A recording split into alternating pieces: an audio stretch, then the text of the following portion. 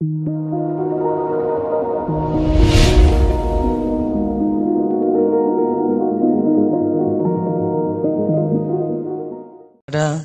Miftah kami persilahkan.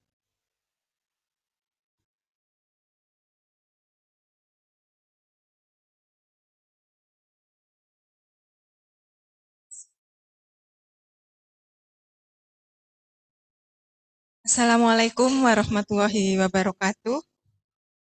Uh, hadirin yang berbahagia, marilah kita berdoa dengan khusyuk menurut agama masing-masing. Pada kesempatan ini izinkan saya untuk memandunya sesuai dengan tuntunan agama Islam. Berdoa mulai. A'udzubillahi minasyaitonirrajim. Bismillahirrahmanirrahim. Allahumma sholli wa sallim ala sayyidina Muhammad. Allah Alhamdulillahirabbil alamin wassalatu wassalam ala asrofil anbiya'i wal mursalin wa ala alihi wa ashabihi ajma'in. Allahumma ya Allah ya Tuhan kami, Tiada kata dan rasa yang pantas kami haturkan kepadamu di pagi hari ini. Selain syukur kami atas segala nikmat yang engkau anugerahkan kepada kami. Sehingga kami bisa hadir bersama untuk mengikuti seminar di hari ini. Ya Allah, ampunilah dosa-dosa kami, dosa-dosa orang tua kami, dosa-dosa guru-guru kami, dan dosa-dosa para pendahulu kami. Ya Allah, ya Rob, sehatkanlah orang-orang yang sakit di antara kami Mudahkanlah urusan kami di dunia dan di akhirat kelak. Lapangkanlah rezeki kami dan berikan kami kekuatan dan kesadaran, kesabaran dalam menjalani pengobatan. Ya Allah, berikan kepada kami umur yang memberi manfaat untuk orang banyak. Berikan kefahaman kepada kami terhadap materi yang akan disampaikan. Ya Allah, ya Robana, lindungilah kami dan seluruh keluarga kami di mana pun berada dari segala mara bahaya. Rabbana taqabbal minna innaka antas samiul alim wa tub alaina innaka antat tawwabur rahim. Rabbana atina fid dunya hasanah wa fil akhirati hasanah wa qina adzabannar. Subhanaka rabbika rabbil izzati amma yasifun wa salamun alal mursalin walhamdulillahi rabbil alamin. Amin ya rabbal alamin. Wassalamualaikum warahmatullahi wabarakatuh. Amin, amin, amin, amin ya rabbal alamin. Baik, terima kasih Ibu Miftah. Untuk acara berikutnya yaitu laporan Ketua Panitia kepada Ibu Istiana kami persilahkan. Tepuk tangannya mana? Iya. Oke Ibu. Assalamualaikum warahmatullahi wabarakatuh. Salam Salam sejahtera bagi kita semua. Yang saya hormati Direktur Rumah Sakit Lafalet, Ibu Dr. Mariani Indahri, atau yang mewakili beserta jajarannya. Yang saya hormati narasumber kita pada pagi hari ini, Bapak Dr. Wisnu Broto. Yang saya hormati Ibu Pranawati Dalwan selaku Koordinator Regional Wilayah Jawa Timur Nusa Tenggara yang saya hormati Ibu Indah Sri Wahyuni, Amir selaku Koordinator Wilayah Surabaya, yang saya cintai para survivor dan warrior kanker payudara, yang saya banggakan perwakilan dari adik-adik eh, mahasiswa Fakultas Kedokteran Universitas Brawijaya. Pertama-tama marilah kita panjatkan puji syukur kehadirat Allah Subhanahu wa taala atas limpahan rahmat dan karunia-Nya sehingga kita semua dapat berkumpul di sini dalam rangka mengikuti bincang sehat dengan tema berdamai dengan kanker payudara. Kegiatan ini dilaksanakan sebagai bentuk pelaksanaan visi dan misi LAFPING. Visi LAFPING adalah mengurangi angka kanker payudara stadium lanjut pada tahun 2030 dan misinya yaitu menanamkan kepedulian pada pentingnya deteksi dini kanker payudara, menyosialisasikan informasi seputar kanker payudara, faktor-faktor resiko dan cara mendeteksinya. Lafping sebagai navigator pasien untuk membantu kelancaran proses pengobatan dan memberikan dukungan moral bagi sesama pasien kanker payudara. Saya selaku Ketua Panitia izin melaporkan jumlah peserta yang hadir di Aula Rumah Sakit Lafalet berjumlah 100 peserta yang berasal dari survivor dan warrior kanker serta masyarakat umum. Tema yang kami angkat pada acara ini adalah berdamai dengan kanker payudara, tujuan memberikan informasi pada para peserta bagaimana kita para pejuang kanker menjalani kehidupan secara normal serta merubah stigma buruk yang beredar di masyarakat tentang pengobatan kanker payudara secara medis. Sebelum menutup laporan ini, izinkan kami mengucapkan terima kasih kepada Rumah Sakit Lafalet, kepada Yayasan Daya Darah Indonesia, kepada seluruh pengurus Lafping Surabaya, kepada seluruh panitia dan seluruh sponsor yang telah mendukung acara ini sehingga insya Allah berjalan dengan baik. Demikian kami sampaikan, apabila terdapat kekurangan kami mohon maaf. Wassalamualaikum warahmatullahi wabarakatuh. Baik, terima kasih Ibu Istianah ya. Berikut tadi laporan Ketua Panitia. Untuk acara berikutnya yaitu sambutan-sambutan. Sambutan yang pertama yaitu dari Kepala eh, Koordinator Regional Loving Wilayah Jawa Timur dan Nusa Tenggara. Kepada Ibu Pranawati Dalwan kami persilahkan.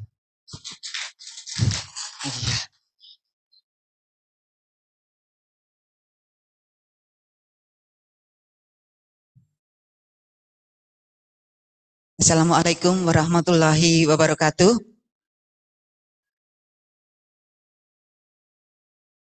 Yang saya hormati Dr. Wisnu, saya cari-cari di barisan depan kok tidak ada atau dok ternyata di belakang sendiri.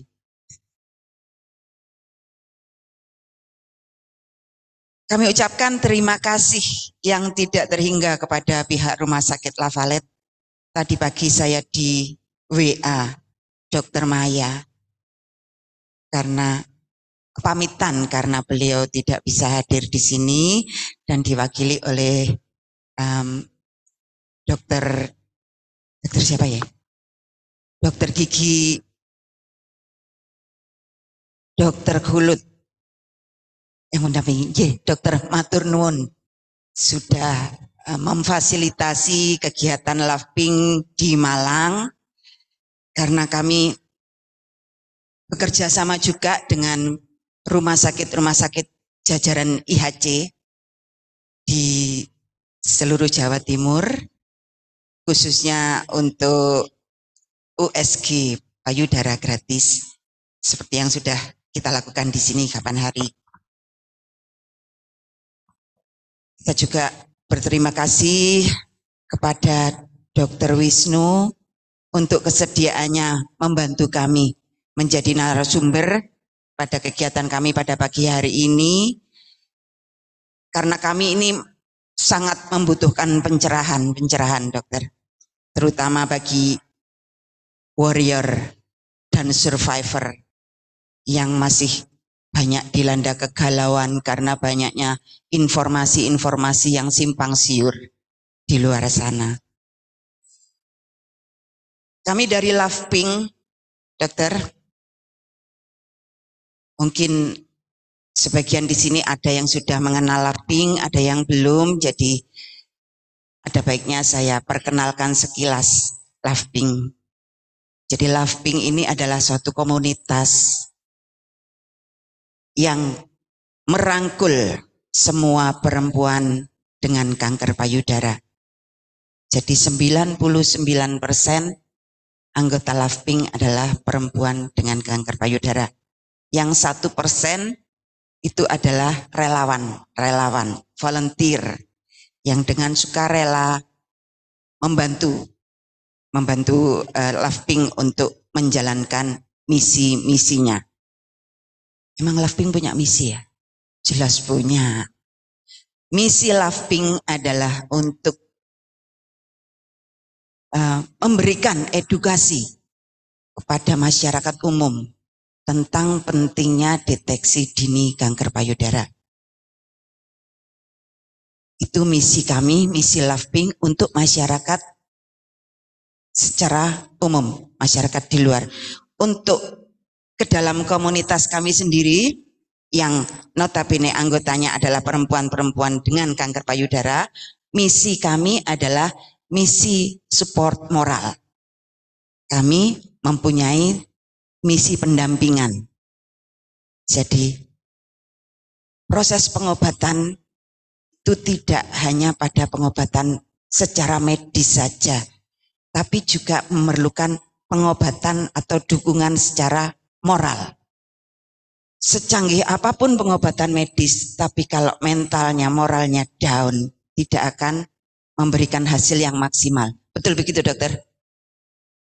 Karena itu kami berupaya semaksimal mungkin untuk memberikan pendampingan, memberikan support moral bagi saudara-saudara seperjuangan kita untuk sama-sama bergandeng tangan, membagikan semangat, membagikan informasi, membagikan uh, berbagi semua rasa supaya kegalauan-kegalauan ini tidak bertahan lama.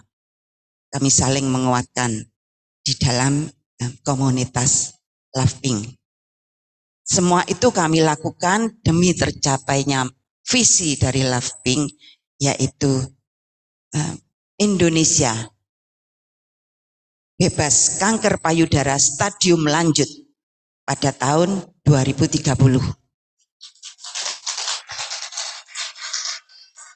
Asik.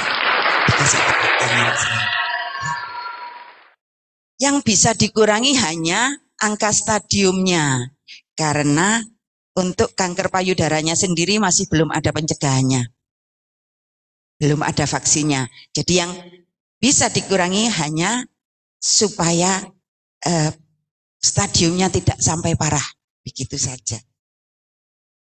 Kami juga mengucapkan selamat datang kepada adik-adik dari CIMSA yang akan um, bergabung dengan kita untuk bulan Oktober ini ya. Oktober Breast Cancer Awareness Month. Nanti acara ini akan ditutup oleh adik-adik dari CIMSA dengan um, program mereka Birds of Hope. Kita akan bersama-sama membuat origami ya, origami untuk uh, untuk lebih jelasnya nanti akan dijelaskan oleh adik-adik sendiri. Kalau saya yang jelaskan salah nanti saya dimarahi. Love Pink ini um, sudah ada di beberapa wilayah di Indonesia. Pusatnya ada di Jakarta, kemudian ada wilayah Jabodetabek, di Bandung juga sudah ada, di Jogja, yang untuk di Jawa Timur diawali dari Jember, kemudian saya beruntung bertemu dengan orang-orang baik yang dengan tulus dan semangat mau membantu mengembangkan menjalankan misi-misi Pink di wilayah Malang dan Surabaya. Jadi dengan bahagia sekarang ini sudah berdiri Pink koordinator wilayah Surabaya dan sekitarnya termasuk Malang. Beberapa bulan ini sudah berjalan dan alhamdulillah puji Tuhan kegiatannya sudah uh, berjalan lancar. Antara lain screening USG payudara gratis untuk mereka-mereka yang eh, mempunyai keterbatasan finansial yang didukung penuh oleh Rumah Sakit Lavalet. Dan masih akan berjalan lagi bekerja sama dengan adik-adik dari CIMSA tanggal 28 dan 29 yang akan datang screening untuk 50 peserta ya adik-adik ya. Betul karena eh, Loving Surabaya dan Malang ini masih baru, perkenankan saya memperkenalkan pengurus-pengurus yang saya cintai. Yang pertama adalah koordinator wilayah Korwil Surabaya. Mana Korwilnya? Korwilnya masih ke toilet ternyata ada wakil ketua. Wakil Ketua Koordinator Wilayah Surabaya dan Malang. Mbak Ana, Mbak Istiana yang sudah dikenal oleh Monggo itu di belakang itu yang cantik itu. Nah, nah ini korwilnya sudah kembali. Ini ketua Lafping wilayah Surabaya, Mbak Indah Amir. Wakilnya di belakang Mbak Istiana, kemudian ada sekretaris yang e, mengurusi pemberkasan dokumen-dokumen yang lain-lain. Sekretaris itu biasanya cantik ya. Sekretaris itu biasanya cantik, tapi saya tidak mau yang cantik. Yang ini cantik, silakan berdiri. Mbak Esi, Sekretaris Wilayah Surabaya. Kemudian organisasi tidak akan berjalan kalau tidak ada yang mengurusi keuangan. Ada bendahara kita, Bu Miftah. Umi, nah itu Bu Miftah, bendahara kami yang sangat handal. Ini yang mengurusi segala uh, pemasukan dan pengeluaran dari Pink. Karena meskipun kita organisasi sosial tetap saja tidak bisa berjalan kegiatannya tanpa adanya keuangan. Dan yang tidak kalah penting adalah uh, sport, komunitas. Jadi yang mengurusi keluar masuknya, eh salah. Karena member kita tidak ada yang keluar ya. Mengurusi masuknya member-member baru, mendata member baru, dan mengkoordinir kegiatan-kegiatan adalah uh, support komunitas, yaitu Mbak Naili yang berkedudukan di Mojokerto.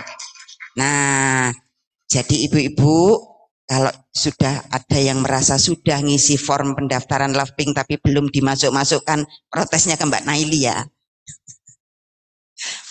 Karena untuk uh, bergabung dengan Loving ada prosedur-prosedur yang harus dijalankan. uh, tidak bisa hari ini daftar kemudian langsung masuk, tidak. Tapi ada prosedur, ada tahapan-tahapan yang harus dijalankan. Jadi mohon bersabar ibu-ibu ada gilirannya. Sebentar lihat kerpean dulu. Itu tadi para pengurus yang membantu Pink untuk menjalankan misi-misinya di wilayah Surabaya dan Malang.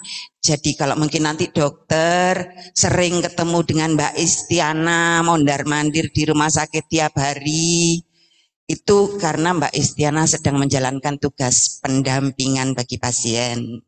Dan nanti dokter kalau ada pasien-pasien yang masih belum kenal Pink, monggo diperkenalkan karena sekarang di Malang sudah ada uh, support community untuk uh, para pasien kanker payudara. Begitu dokter permintaan kami tidak berpanjang-panjang lagi. Kami serahkan acara selanjutnya. Semoga nanti yang kita dapat dari dokter Wisnu menambah wawasan kita dan menambah semangat kita untuk tetap berjuang mencapai kesembuhan. Terima kasih, mohon maaf kalau ada salah kata, salah ucap, dan lain sebagainya. Wassalamualaikum warahmatullahi wabarakatuh. Terima kasih Ibu Pranawati. Tepuk tangannya mana itu Ibu Pranawati? Ya baik. Luar biasa sekali ya yang disampaikan oleh Ibu ya. Semoga ke depannya Pink bisa semakin maju dan sukses ya eh, dalam rangka mensukseskan misinya ya. 2030 Indonesia bebas kanker payudara stadium lanjut. Ya, gitu ya. Baik, sebelum uh, sambutan berikutnya, kita sapa dulu para peserta, sahabat Love Pink yang ada di ruang Zoom. Mana suaranya? Yeay, suaranya yang muncul di sini. Kita sapa juga dari rekan-rekan CIMSA, Fakultas Kedokteran Universitas Brawijaya. Mana? Iya. Oke, terima kasih kakak-kakak kehadirannya di Rumah Sakit Lavalet Malang. Untuk sambutan berikutnya yaitu sambutan dari Direktur Rumah Sakit Lavalet Malang sekaligus membuka acara dalam hal ini akan diwakili oleh manajer operasional Rumah Sakit Lafalet kepada Dr. Gigi Khairon Kulut. Kami persilahkan. Tepuk tangannya mana? Iya. Nih yang ganteng ini namanya dokter Hulut ya. Jadi kalau di jalan ketemu bisa disapa. Monggo dokter iya. Mohon izin. Grogi nih sebenarnya saya ketemu dengan ibu-ibu semuanya. Karena juga saya sebelumnya uh, dapat mandat dari Bu Direktur juga barusan terinfo karena beliaunya hadir di Surabaya. Jadi mohon izin kami mewakili untuk membuka acara pada pagi hari ini. Sebelumnya, Assalamualaikum warahmatullahi wabarakatuh. Oke, selamat pagi ibu-ibu semuanya dan para hadirin. Sebelumnya yang terhormat kepada Ibu Pranawati Dalman selaku koordinator regional Jatim dan Nusa Tenggara, G, dan uh, seluruh apa timnya tadi dan yang tak terlupa kami banggakan yang kami hormati Dr. Wisnu Broto, spesialis bedah, konsultan onkologi di Rumah Sakit Lavalet dan yang kami banggakan kepada uh, para tamu undangan atau survival untuk kanker payudara pada pagi hari ini. Dan tak lupa yang kami cintai teman-teman panitia dari Loveping maupun dari Rumah Sakit Lavalet puji syukur kehadirat Allah Subhanahu wa taala karena pada pagi hari ini kita masih diberikan kesehatan, kesempatan dan kebahagiaan sehingga kita bisa me, apa uh, bisa hadir pada acara pada hari ini dengan suasana yang penuh dengan cinta. Karena saya melihat suasananya kok pada ping-ping semuanya ini. Tadi nah, seperti yang disampaikan Bu Sekretaris ya. Ah, memang benar-benar cuantik beliaunya tidak hanya sekedar cantik ternyata. Ah, mohon izin Uh, saya mewakili dari Direktur Rumah Sakit Dr. Mariani karena beliaunya tidak bisa hadir pada hari ini. Jadi mudah-mudahan acara pada hari ini bisa berjalan dengan lancar dan bisa mendapatkan manfaat apa yang sudah uh, didapatkan pada hari ini. Oke, uh, seperti kalau tadi dari Bu Prana uh, sedikit memperkenalkan Love Pink ini ternyata sudah ada di Indonesia nggih. Nah, kalau IHC atau Rumah Sakit Lavalet juga menyebar di Indonesia. Jadi IHC Rumah Sakit Lavalet ini e, merupakan salah satu rumah sakit e, eh, BUMN yang dikelola oleh Indonesian Health Corporation atau IHC yang kita kenal. Jadi e, IHC itu ada di mana-mana di Indonesia. Sekarang kurang lebih ada 70 rumah sakit yang menyebar di rumah sakit di Indonesia. Salah satunya Rumah Sakit Lavalet.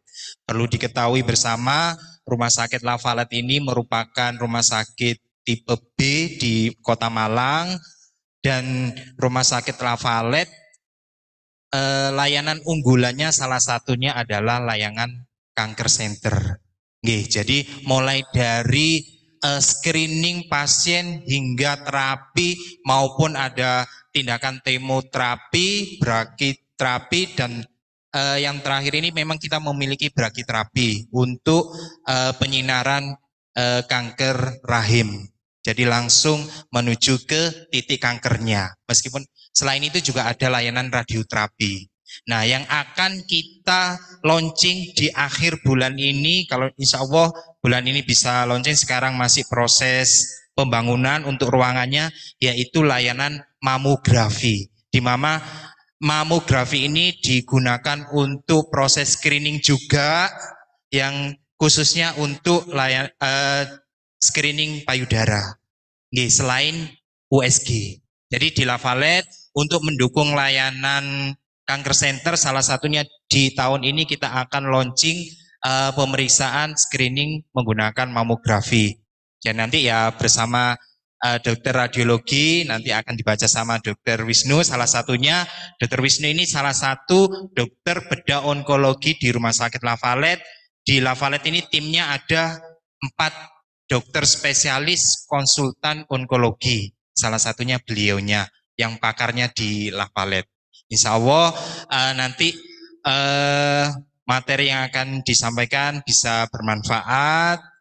Eh, mudah-mudahan i- ibu-ibu semuanya eh, tetap bahagia karena dari kebahagiaan itu kita akan mendapatkan suatu kesehatan yang luar biasa. Jadi apa pun yang kita alami kalau kita bahagia akan kita nikmati eh, di tiap hari baik itu di lingkungan keluarga maupun lingkungan sekitar kita. Oke, mungkin itu saja yang bisa saya sampaikan.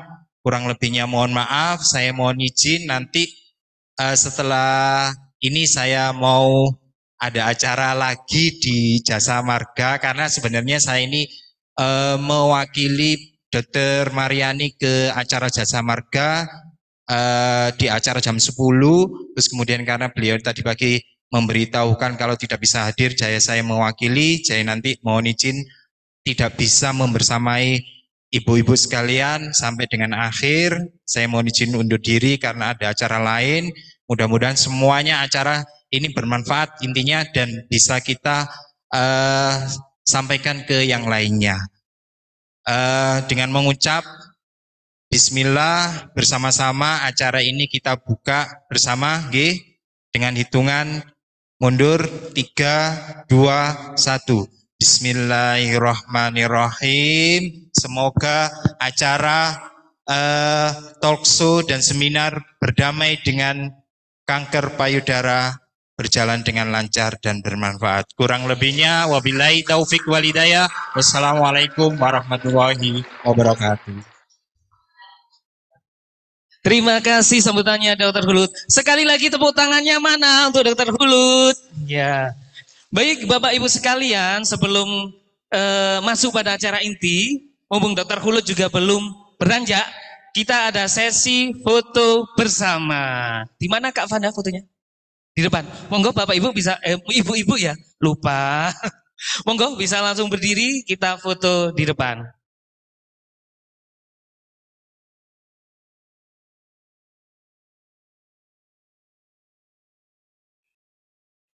Oh berdiri dulu, kita menghadap ke depan. Gitu Pak Arif.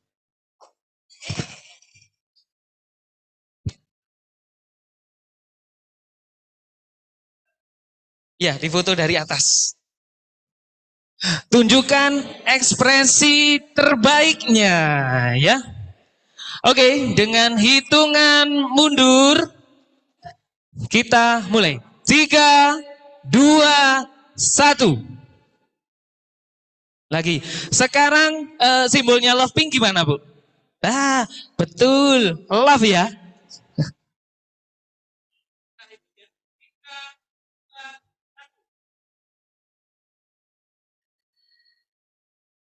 Cukup, Pak Arif? Oke. Terima kasih.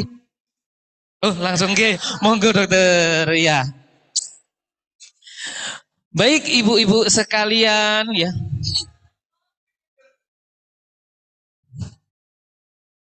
Dokter Hulut grogi bu, tangannya dingin. Panitianya foto sama dokter rekap. Boleh, monggo. Oh, Dokter Hulut, mohon maaf, masih ada yang ingin foto bersama, ya. Dokter Hulut jadi artis pagi ini ya. Monggo katanya ibu-ibu panitia izin foto bersama dengan Dokter Hulut dan juga Dokter Wisnu.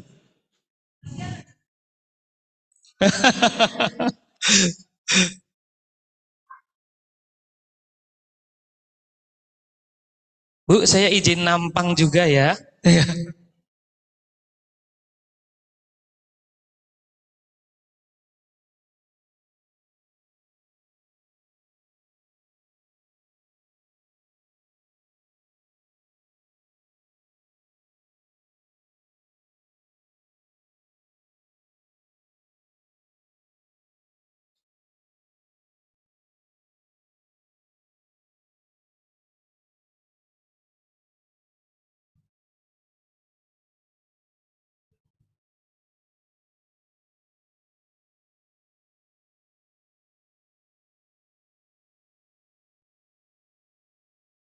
Banyak.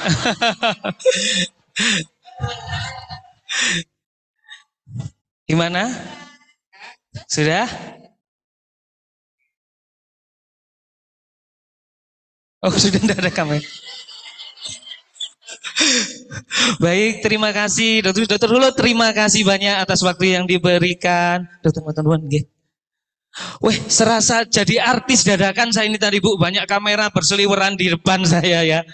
Baik Bapak Ibu eh, Ibu-ibu sekalian, sebelum kita beranjak ke acara berikutnya, untuk membangkitkan semangat kita, kita ini ada yel-yel. Katanya Love Pink juga punya slogan ya.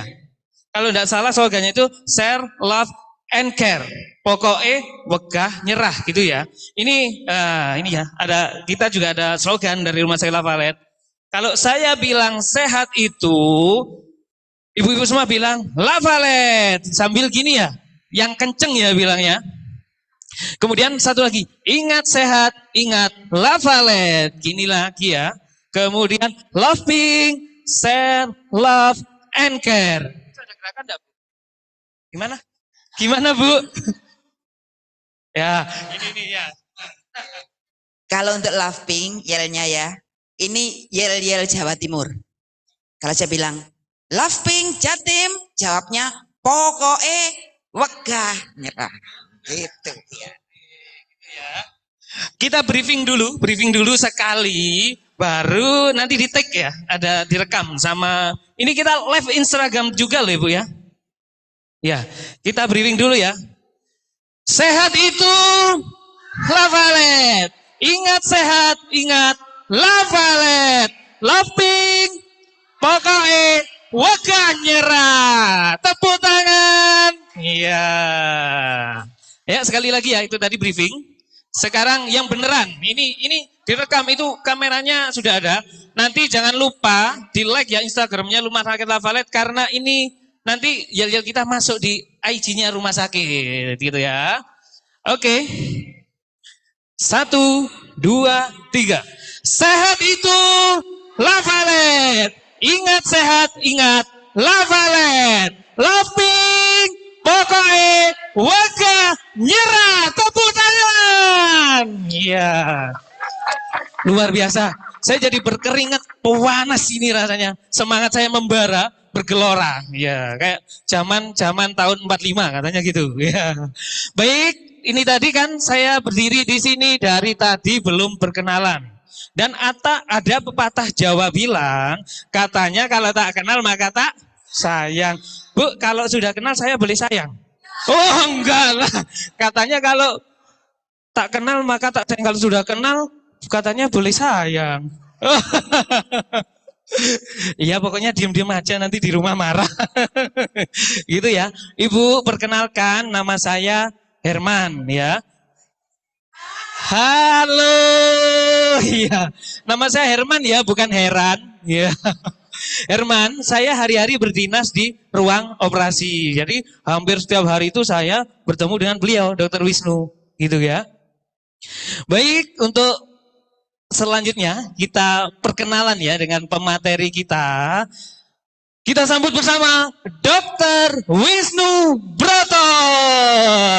Ya. Ini ya, bisa ditampilkan CV-nya Dr. Wisnu Broto, Kak. Nah, ini ya, CV-nya. Boleh kok nanti berkenalan, minta nomor HP juga boleh ya. Boleh, dokter? Oh, sudah. Jadi ini ya, beliau eh, nama lengkapnya Dokter JDP. Oh berarti bukan lengkap ya kalau ada singkatannya ya. Dokter JDP Wisnu Broto, spesialis bedah konsultan onkologi. Beliau lahir di Jakarta tanggal 6 September tahun 1954. Oh Virgo, Virgo ya dok? Iya, zodiaknya Virgo. Sama dengan ibu sekretaris yang cuantik ini dok katanya dok.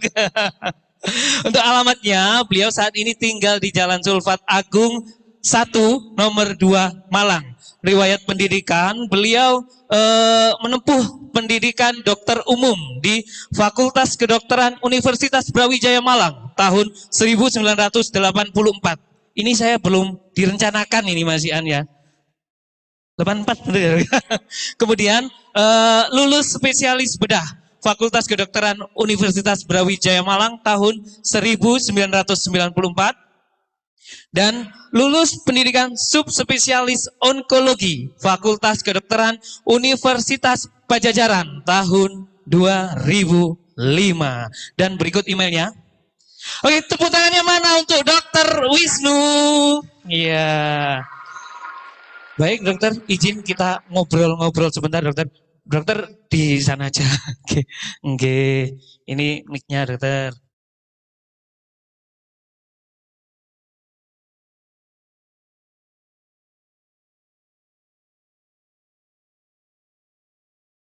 Mas kok nggak nyala, Mas? Baterainya habis lah. Oh bisa. Berarti bukan baterainya saya aja yang nggak bisa ini berarti. Tekan. Oh, kok nggak nyala? Sing Oh, keliru, salah pencet, nggak punten. ya, ya dokter. Ini kita ngobrol-ngobrol dulu dok sedikit tentang kanker payudara. Dokter, benar nggak sih katanya bahwa kalau kanker payudara itu eh, menempati urutan pertama terkait jumlah kanker terbanyak di Indonesia serta menjadi salah satu penyumbang kematian eh, pertama akibat kanker. Ya, terima kasih Mas Herman dan ibu-ibu sekalian. Selamat pagi. Selamat Pagi, dokter. bertemu dengan saya. Dari pertanyaannya Dr. Herm, eh, Mas Herman ini, bahwa dengan sangat sedih, kenapa kanker payudara menempati urutan pertama pada wanita. Pada Iya. wanita saja ya dok ya? pada wanita. Iya. Jadi kanker payudara Aman. merupakan menyumbangkan kasus terbanyak kanker pada wanita. Ini sebetulnya sedihnya karena penyebab utamanya belum diketahui. Itu. Gitu Sehingga ya, ya? dulu 10 tahun yang lalu itu kanker serviks merupakan kanker terbanyak pada wanita. Ya, tapi sudah didapatkan adanya eh, imunisasi atau vaksinasi untuk kanker serviks, akhirnya turun. Sehingga menempati urutan kedua untuk wanita. Sedangkan untuk kanker payudara tetap bertahan. Ya, rata-rata rata-rata 30 kasus per 100 ribu penduduk. Wow, sungguh luar biasa sekali itu di angka Ya, prevalensi banyak. dari kanker Banyak sekali. payudara ini.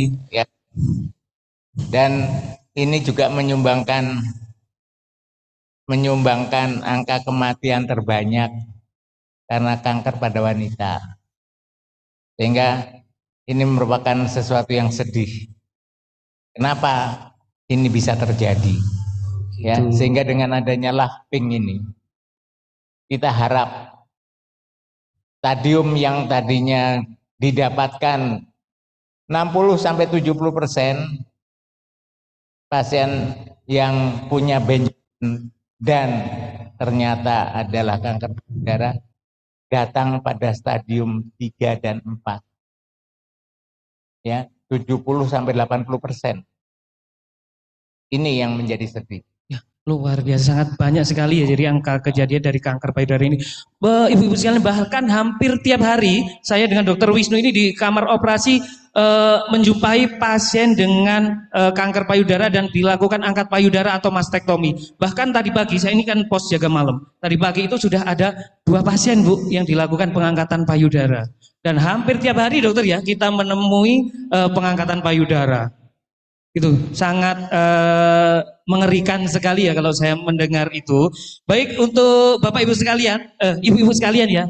Bagaimana dokter untuk kiat-kiatnya serta kita bisa berdamai dengan kanker payudara? Langsung saja kita saksikan pemaparan materi oleh Dr. Wisnu Broto. Kita kasih tepuk tangan untuk beliau.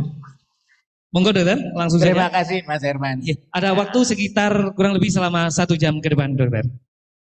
Iya, ya lagi. Oh kita yel-yel lagi, baik dokter. Kita ya lagi. kita berdiri saja biar lebih semangat ya. Kita berdiri. Oke. Masih ingat ya, Bu ya? Ingat dong, ya. Nama saya tadi siapa? Hermin. Heran. heran ya, yang diingat heran bukan Herman. Ibu-ibu ini bisa saja ya. Satu, dua, tiga. Sehat itu. Lavalet. Ingat sehat, ingat. Lavalet. Laughing. Pokoknya. Waka. Nyerah. Tepuk tangan. Oke. Langsung dokter, Ya. monggo. Baiklah. Ya. Terima kasih saya sampaikan kepada Rumah Sakit Lavalet yang sudah menunjuk saya untuk menjadi pemateri pada pagi ini. Dan terima kasih sekali kepada Laping yang sudah begitu pedulinya terhadap kanker payudara. Kenapa saya mau ini? Karena ibu saya juga penderita kanker payudara. Ya, itu. Pada materi pagi ini saya, ah, sorry, ingat ingat ibu saya jadinya. Pagi ini saya tidak me, apa, tidak me- ya Jadi, saya akan mengingatkan dulu, kebanyakan mungkin ibu-ibu tidak diberikan Hmm. Penjelasan yang yang menyeluruh mengenai kanker payudara pada waktu periksa. Ya, biasanya cuma dikasih tahu, ibu, ini ada tumor, dan tumor ini kita buktikan apakah ini jinak atau ganas. Itu kan? Ya.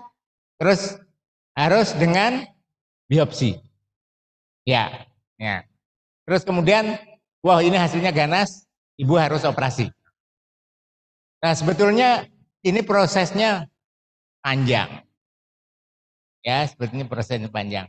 Sehingga pada kesempatan pagi ini, saya ingin mengajak ibu-ibu dan juga hadirin sekalian, apa sih kanker payudara itu? Ya. Kemudian bagaimana kalau sudah menderita kanker terus diapakan?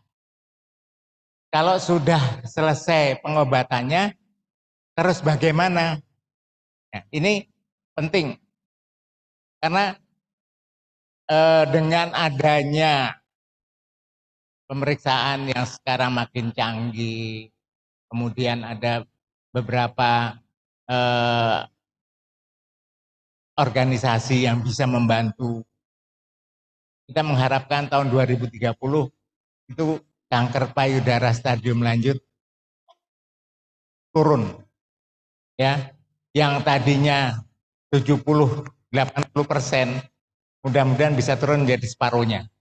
Itu sudah sudah sangat luar biasa. Tapi ada masalah. Ya, kita tahu masalahnya banyak sekali terutama adalah iklan. Ya, iklan. Tentunya ibu-ibu yang di daerah Malang ini senang sekali mendengarkan radio mengenai masalah kesehatan. Yang akhirnya ujungnya jual obat. Ya, itu. Itu yang menjadi masalah kenapa kanker payudara mesti datang dalam keadaan lanjut. Oke. Kita mulai.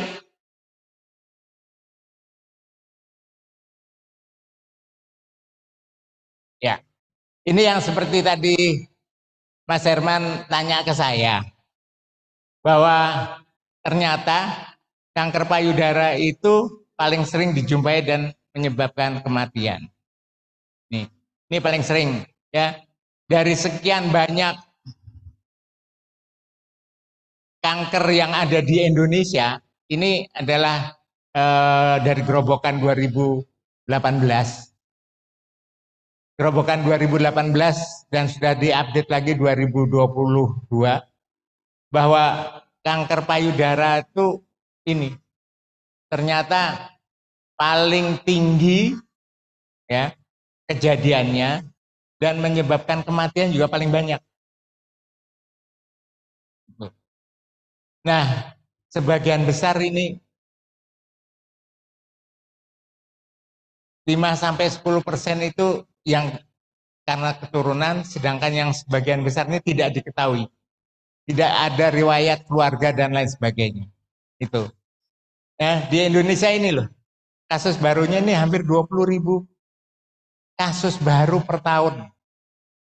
Ya, ini ini data belum konkret sebetulnya. Karena kita mengambil datanya gerobokan itu hanya dari kebanyakan bukan dari rumah sakit, tapi dari hasil patologi. Ya, kebanyakan itu. Kalau yang dari rumah sakit, karena rumah sakitnya banyak sekali, terutama kalau kita tahu ada rumah sakit yang kecil-kecil juga melakukan tindakan eh, pengangkatan payudara. Nah itu apakah dilaporkan? Kita juga belum tahu.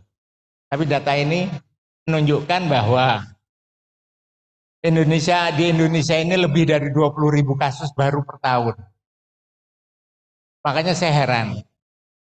Dulu waktu awal saya jadi dokter onkologi di Lavalet ini, pasien saya itu satu hari yang menderita kanker payudara baru dua, tiga. Sekarang setiap saya periksa, saya praktek, yang baru itu bisa sepuluh.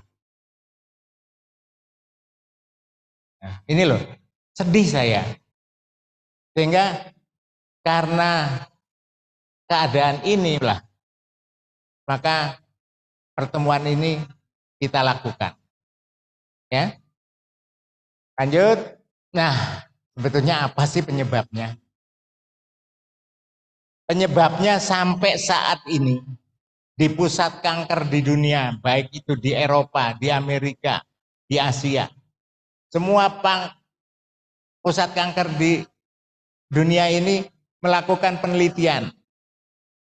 Hampir setiap hari itu ada penelitian terbaru mengenai kanker payudara. Jurnal-jurnal internasional itu banyak sekali. Ya. Mengenai bagaimana kanker payudara. Sampai saat ini penyebab utamanya belum bisa diketahui. Ada yang bilang karena makanan, ada yang bilang karena pola hidup, ada yang bilang karena kalau stres bisa. Nah, tapi itu cuma sebagian-sebagian aja, tidak semua orang stres. Orang yang di ODGJ belum tentu kena kanker ya kan? Belum tentu kena kanker payudara kan gitu. Ya, ya itu. Jadi apa sih penyebabnya? Nah, sampai sekarang ini belum diketahui. Banyak sekali faktor. Sehingga dengan demikian tidak ada pencegahannya. Ya, sehingga tidak bisa dicegah. Demikian juga dengan ini, kerusakan gen. Di mana gen di dalam tubuh kita bisa rusak. Setiap orang juga tidak pernah bisa sama. Ya, tidak pernah bisa sama. Kemudian zat-zat kimia, hormon dan lain sebagainya. Ini juga belum belum pasti. Cuma dari hormon ini hampir 75% pasien penderita kanker payudara itu mempunyai estrogen atau progesteron reseptor yang positif. Tuh. Sehingga salah satu kemungkinan terbesar adalah pengaruh hormon wanita. Kalau nggak punya hormon wanita kan nggak bisa punya anak, nggak bisa hamil, nggak bisa menstruasi. Ya, jadi ini ini yang masih eh, sekarang wah berkembang sekali mengenai pengaruh hormon ini.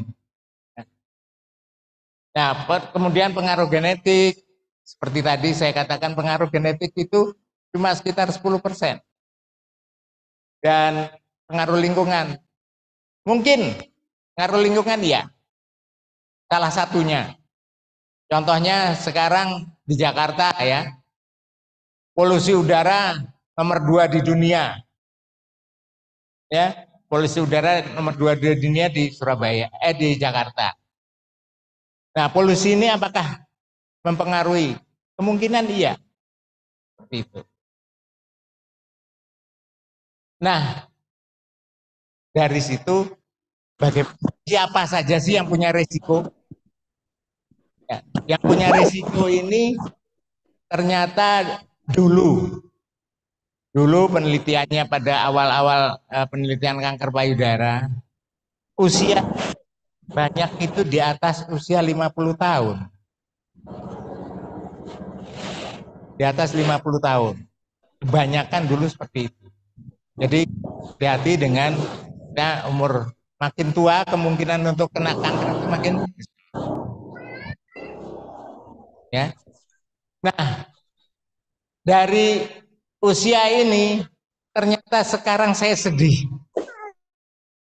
Ada usia-usia di bawah 30 tahun. Ya, di bawah 30 tahun.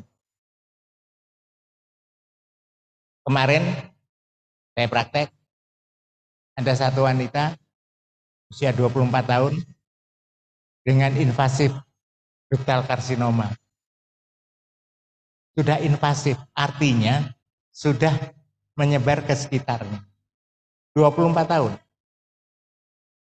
Terus saya mau, saya gini, ini belum nikah, masih musa, usia muda, makin muda, keganasannya itu makin ganas. Ya, makin muda makin ganas. Justru makin tua relatif tidak terlalu ganas. Itu, ya. Jadi saya sedihnya kenapa sekarang kok eh, usia kanker payudara kok makin muda. Kalau dulu di atas 50 tahun, sekarang sudah diturunkan di atas 35 tahun atau 40 tahun. Yang disebut yang breast cancer. Nah, ini saya menemukan umur 24. Bahkan eh, 10 tahun yang lalu, lebih mungkin tahun 2007-2008 ya, saya ketemu anak SMK dengan kanker payudara kanan dan kiri. Bayangkan um, anak SMK itu umur berapa? Nah kalau sudah kena kiri kanan itu kenanya umur berapa? Itu loh. Ya, nah itu loh. Ya, itu kita harus waspada. Makanya ini harus waspada. Kemudian ini, ini juga faktor risiko. Anak-anak sekarang ini menstruasinya lebih cepat. Iya enggak? Ya. Kenapa ini? Nah inilah pengaruh lingkungan. Salah satu pengaruh lingkungan itu. Sekarang anak-anak ada yang umur 9 tahun, 10 tahun sudah menstruasi. Ya, tapi tidak jarang juga yang justru umur 17 baru menstruasi. Ya, gitu. Nah, ini, ini. Kemudian Ya, ini kalau uh, siklus menstruasi yang tidak teratur, artinya siklus menstruasi normal itu antara 21 sampai 35 hari. Ya. Tapi kalau nah, maju mundur itu biasa. Ya. Tapi kadang-kadang kalau sudah tiga bulan tidak, terus menstruasi lagi. Nah ini perlu ada sesuatu yang perlu diperhatikan. Kemudian ini, punya anak atau tidak ini berpengaruh. Salah satunya adalah salah satu faktornya yang sekarang ini sedang giat-giatnya dikembangkan adalah apakah pengaruh hormon wanita itu benar-benar mempengaruhi cancer. Ya. Sehingga kalau seorang wanita sampai umur 35 tahun belum pernah melahirkan, Artinya paparan hormon estrogen dan progesteronnya ini kontinu selama kalau dia menstruasi umur 12 berarti selama 7 eh, 23 tahun itu terpapar hormon estrogen dan progesteron kontinu. Nah, ini punya risiko. Sehingga diharapkan di bawah umur 35 tahun ini sudah pernah melahirkan anak pertama. Itu.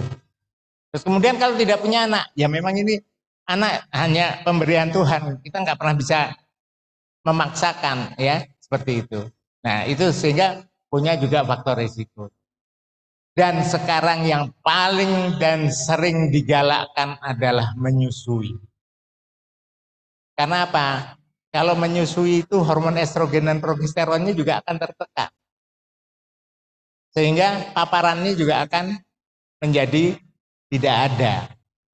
Digantikan oleh hormon lain yang memproduksi air susu.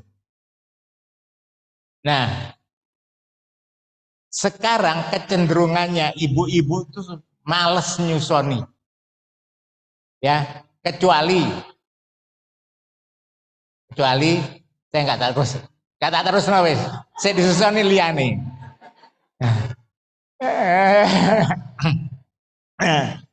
ini makanya ada asi eksklusif. Ya itu. Ya sekarang dokter anak mengembar-gemborkan dan menyuluh, memberikan penyuluhan mengenai ASI eksklusif ini. Karena salah satunya risikonya adalah pada kanker payudara ini. Itu. Ya. Kemudian ini hati-hati pada ibu-ibu yang umurnya sudah lebih 50 tahun masih menstruasi. Ya, Artinya paparan estrogen dan progesteronnya itu kan makin panjang itu.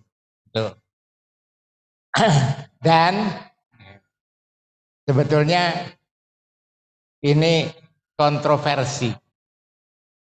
Ada yang mengatakan bahwa ibu-ibu itu kepinginnya nggak apa menopausnya belakangan kan ya kan? Makin panjang gitu loh menopausnya. Ya kan? Banyak yang seperti itu. Kepinginnya jangan menopause dulu lah. Sehingga usianya akan lebih dari 50 tahun. Dan bahkan ini senang kemudian dianjurkan untuk memberikan hormon supaya menstruasinya tetap lancar. Ya penggunaan Walaupun ini hormon-hormon ini adalah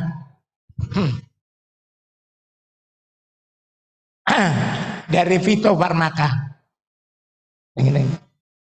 Gampang.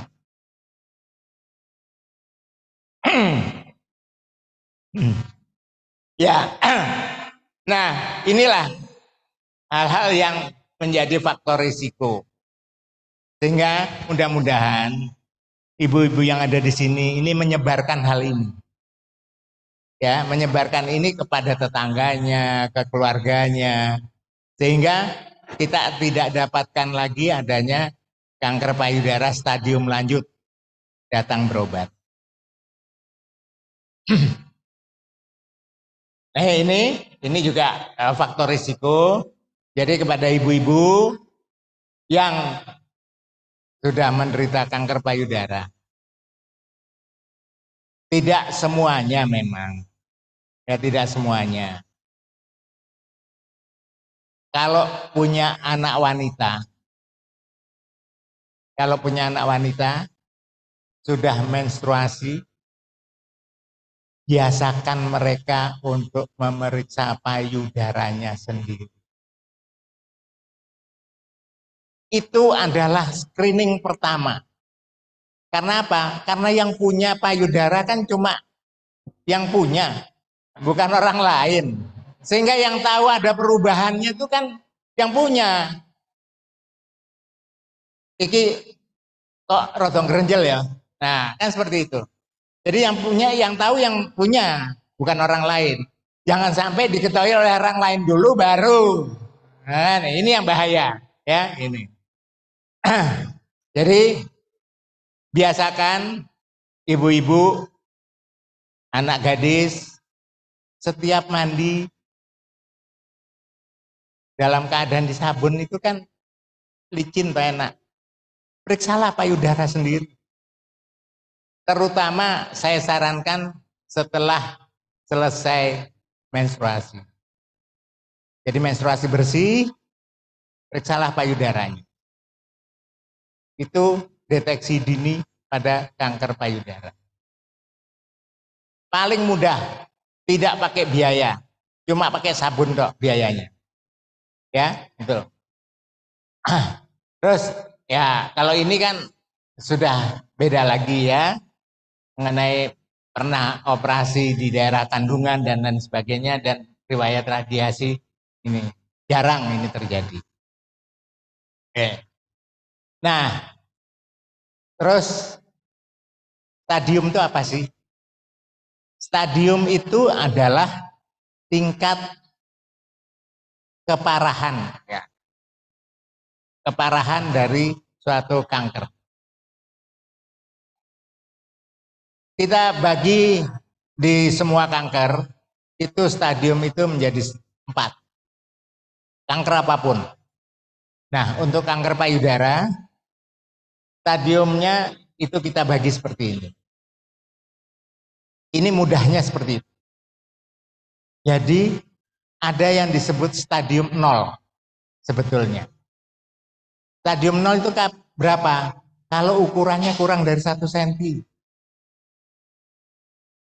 Nah, itu biasanya tidak teraba. Makanya sekarang ada pemeriksaan screening payudara pada wanita di atas umur 35 tahun. Ya, adik-adik dari UB rencananya screeningnya usia berapa? 18 60 tahun, ya. Kalau USG kapan saja boleh. Tapi untuk mamografi itu dianjurkan untuk di atas 35 tahun. Kenapa? Karena pada usia dikurang dari 35 tahun, payudaranya masih terlalu padat. Ya, sehingga pemeriksaan mamografi itu menggunakan sinar X seperti ronsen biasa, tetapi tetapi ada caranya, yaitu payudaranya dijepit pada tiga kuadran. Ya, dari atas bawah, dari samping kiri kanan, terus dari daerah ketiak sana.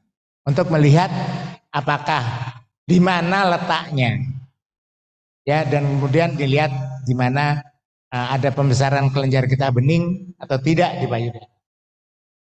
Nah, yang umum stadium 1 itu adalah kalau ukuran tumornya, benjolannya itu kurang dari 2 cm.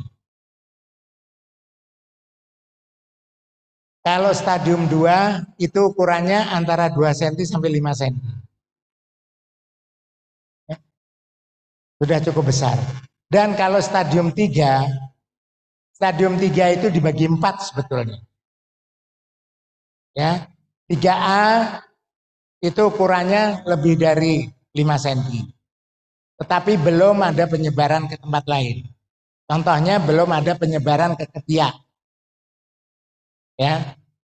Demikian juga stadium 2 atau stadium 1 bukan stadium 1, ukuran 2 cm, kurang dari 2 cm tapi sudah ada di ketiak. Ini masuk ke stadium 2. Gitu. Ya. Kalau ukurannya sudah besar, terus kemudian ada kelenjar di ketiaknya, itu stadium 3. Tapi yang datang ini bukan yang seperti ini. Ya. Yang datang itu adalah sudah ada warna kemerahan di kulitnya, sudah ada kulit jeruknya, ya. Bahkan sudah ada lukanya. Nanti akan saya perlihatkan. Nah, kalau stadium 4, stadium 4 itu sudah menyebar ke organ lain. Contohnya ada benjolan di payudara, walaupun ukurannya cuma satu senti, ya satu senti, tapi sudah ada juga di paru-parunya. Ya. Ada yang ukurannya cuma 2 cm, tapi sudah tidak bisa jalan. Karena sudah menyebar ke tulang belakang. Bisa terjadi gitu, ya. Ini, ini stadium cara garis besarnya. Nah, kemudian tanda-tandanya apa sih? Ini. Ini yang menyebabkan nggak mau segera periksa ini yang nomor dua ini. Ya, dianggap malah apa eh, kelanjeran bisa, bisa juga dianggap sebagai apa orang Jawa bilang eh, nah seperti itu ya.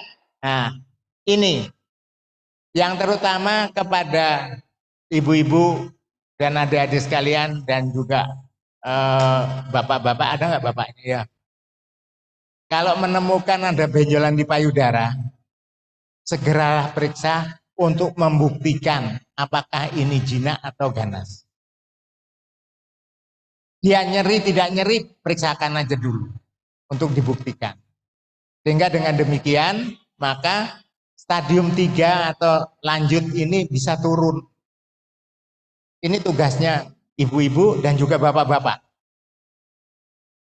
Ya. Karena kadang-kadang bapaknya sudah meraba sebetulnya, ada benjolan. Cek, kok wis ya. Kok nek dilangi siji aku ora iso cekelan. Nah, ya, Nah, kok kepleset aku dan karena cekelane ya, jadi itu. Nah, ini. Terus tidak nyeri, kemudian terasanya itu keras. Bagaimana melihat keras atau tidak? Ya. Keras itu lem apa kenyal itu seperti kalau kita merabain. Tapi kalau keras itu meraba ini. Ya, itu hati-hati kalau ada seperti itu. Ya. Kemudian ya cepat sekali membesar. Mungkin tiga bulan yang lalu itu sekacang. Ya, sekarang sudah setelur puyuh. Itu harus diperhatikan. Bukan apa-apa. Kalau pertumbuhannya cepat, pasti dia ganas. Cuma ada satu yang pertumbuhannya cepat tapi tidak ganas, yaitu tumor piloides. Tumor piloides itu jinak, tapi pertumbuhannya sangat sangat sangat cepat sekali. Dalam waktu tiga bulan dari seukuran jempol bisa menjadi seukuran bola voli. Itu. Tapi jinak, Nah, itu makanya kalau kita dengar kata-kata tumor di benaknya ibu-ibu dan semua masyarakat, yang namanya tumor itu masih ganas. Belum tentu. Sehingga harus dibuktikan dulu. Seperti itu. Ya. Nah, ini contoh yang paling nih ada benjolan. Ini enggak enggak, enggak kelihatan benjolannya. Tapi ternyata nih kulitnya ada cekungannya. Nah, kalau ada cekungan seperti ini, artinya ini kulitnya udah ketarik ke dalam karena tumornya tadi. Kalau ada gambaran seperti ini, kemungkinan ganas besar. Ya, betul. Nah, Inilah yang sekarang oh sorry sorry sorry. Inilah yang sekarang sering datangnya seperti ini. Ya, karena sudah ada keriput kayak gini, sudah ada kayak gini, bahkan sudah ada kayak gini. Ini yang akan kita turunkan supaya bisa menjadi seperti ini. Tapi saya sedih. Sedihnya kenapa? Karena pengaruh iklan. Ada dua pasien saya di rumah sakit ini. Awalnya periksa ke saya seperti ini. Karena iklan, sampai dia ke Bandung. Terus terang saya ngomong, namanya klinik MCI. CMI. Itu menawarkan pemberian obat selama 8 kali per 50 juta sekali datang akan sembuh. Itu saya sampai nangis terus terang saya di depan pasien saya bilang, "Ibu, ibu saya itu penderita payudara." Ya. Bertahan sampai 8 tahun. Terus kemudian meninggal karena faktor psikologis. Tuh, ya. Nah, tadinya datang dengan seperti ini. Kemudian setelah 8 kali 50 juta, datangnya seperti ini. Katanya penyakitnya keluar. Itu kenyataan. Kenyataannya seperti itu. Padahal di klinik itu ada dokternya. Itu. Ini yang saya sedih sekali. Karena iklan. Ya, karena iklan itu loh. Ya, seperti itu. Ya. Jadi yang tadinya stadium 1 karena takut dioperasi dia menggunakan pengobatan alternatif yang dijanjikan sembuh. Jadinya seperti ini. Ya. Nah, kalau sudah seperti ini kita tidak bisa berbuat banyak. Yang sudah batuk-batuknya nggak bisa diobati ya, dan sebagainya ini. Ya, ini. Oke. Nah, sekarang kalau sudah seperti itu bagaimana sih? Tentunya harus diobati. Ya. Jadi pengobatan yang pertama itu harus yang terbaik. Sesuai dengan protokol atau eh, apa ya protokol atau apa nama lainnya? Eh, aturan ya pengobatan kanker payudara. Di Indonesia ini semua ahli bedah tumor di Indonesia menganut prinsip protokol dunia protokol dunia itu gimana protokol dunia itu setiap tiga bulan sekali itu direvisi.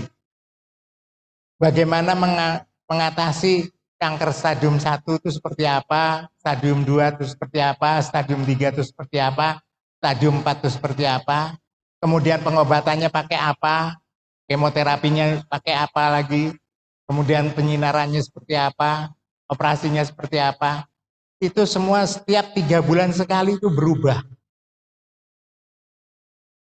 Yang sering dipakai adalah dengan apa perjanjian atau kesepakatan ESO, ESMO, ASPO, ya, NCCN, National Comprehensive mengenai kanker di dunia, itu yang kita pakai di sini.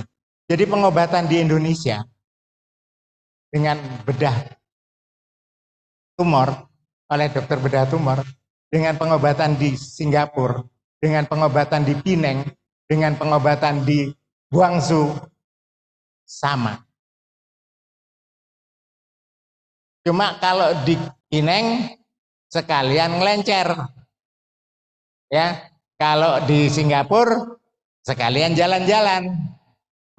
Kalau di sini ya, kalau di Indonesia cari BPJS. Ya kan? Nah, itu. Saya banyak pasien datang sudah berobat ke Pineng, sudah berobat ke Singapura. Begitu berobat di Indonesia, pakai BPJS. Ya. Lalu duitnya dia diserahkan orang lain. Nah, kan gitu. Coba dia pakai BPJS mulai awal. sudah nggak banyak biaya keluar. Nah gitu ya. Nah jadi pengobatan yang terbaik adalah pada waktu pertama kali. Kalau sudah salah salah kedaden, ngopen ini angel. Ya, tapi tidak boleh menyerah. Ya, karena laping legah nyerah. Itu. Ya, tapi tidak boleh menyerah. Berapapun stadiumnya, kalau kita masih ikhtiar, masih didengarkan. Ya, tapi satu harus ikhlas. Ikhlas dalam arti apa? Ikhlas menjalani pengobatan, ikhlas menjalani ketidakenakan. Itu yang penting. Ya. Jadi pengobatan kanker payudara itu tergantung dari ini.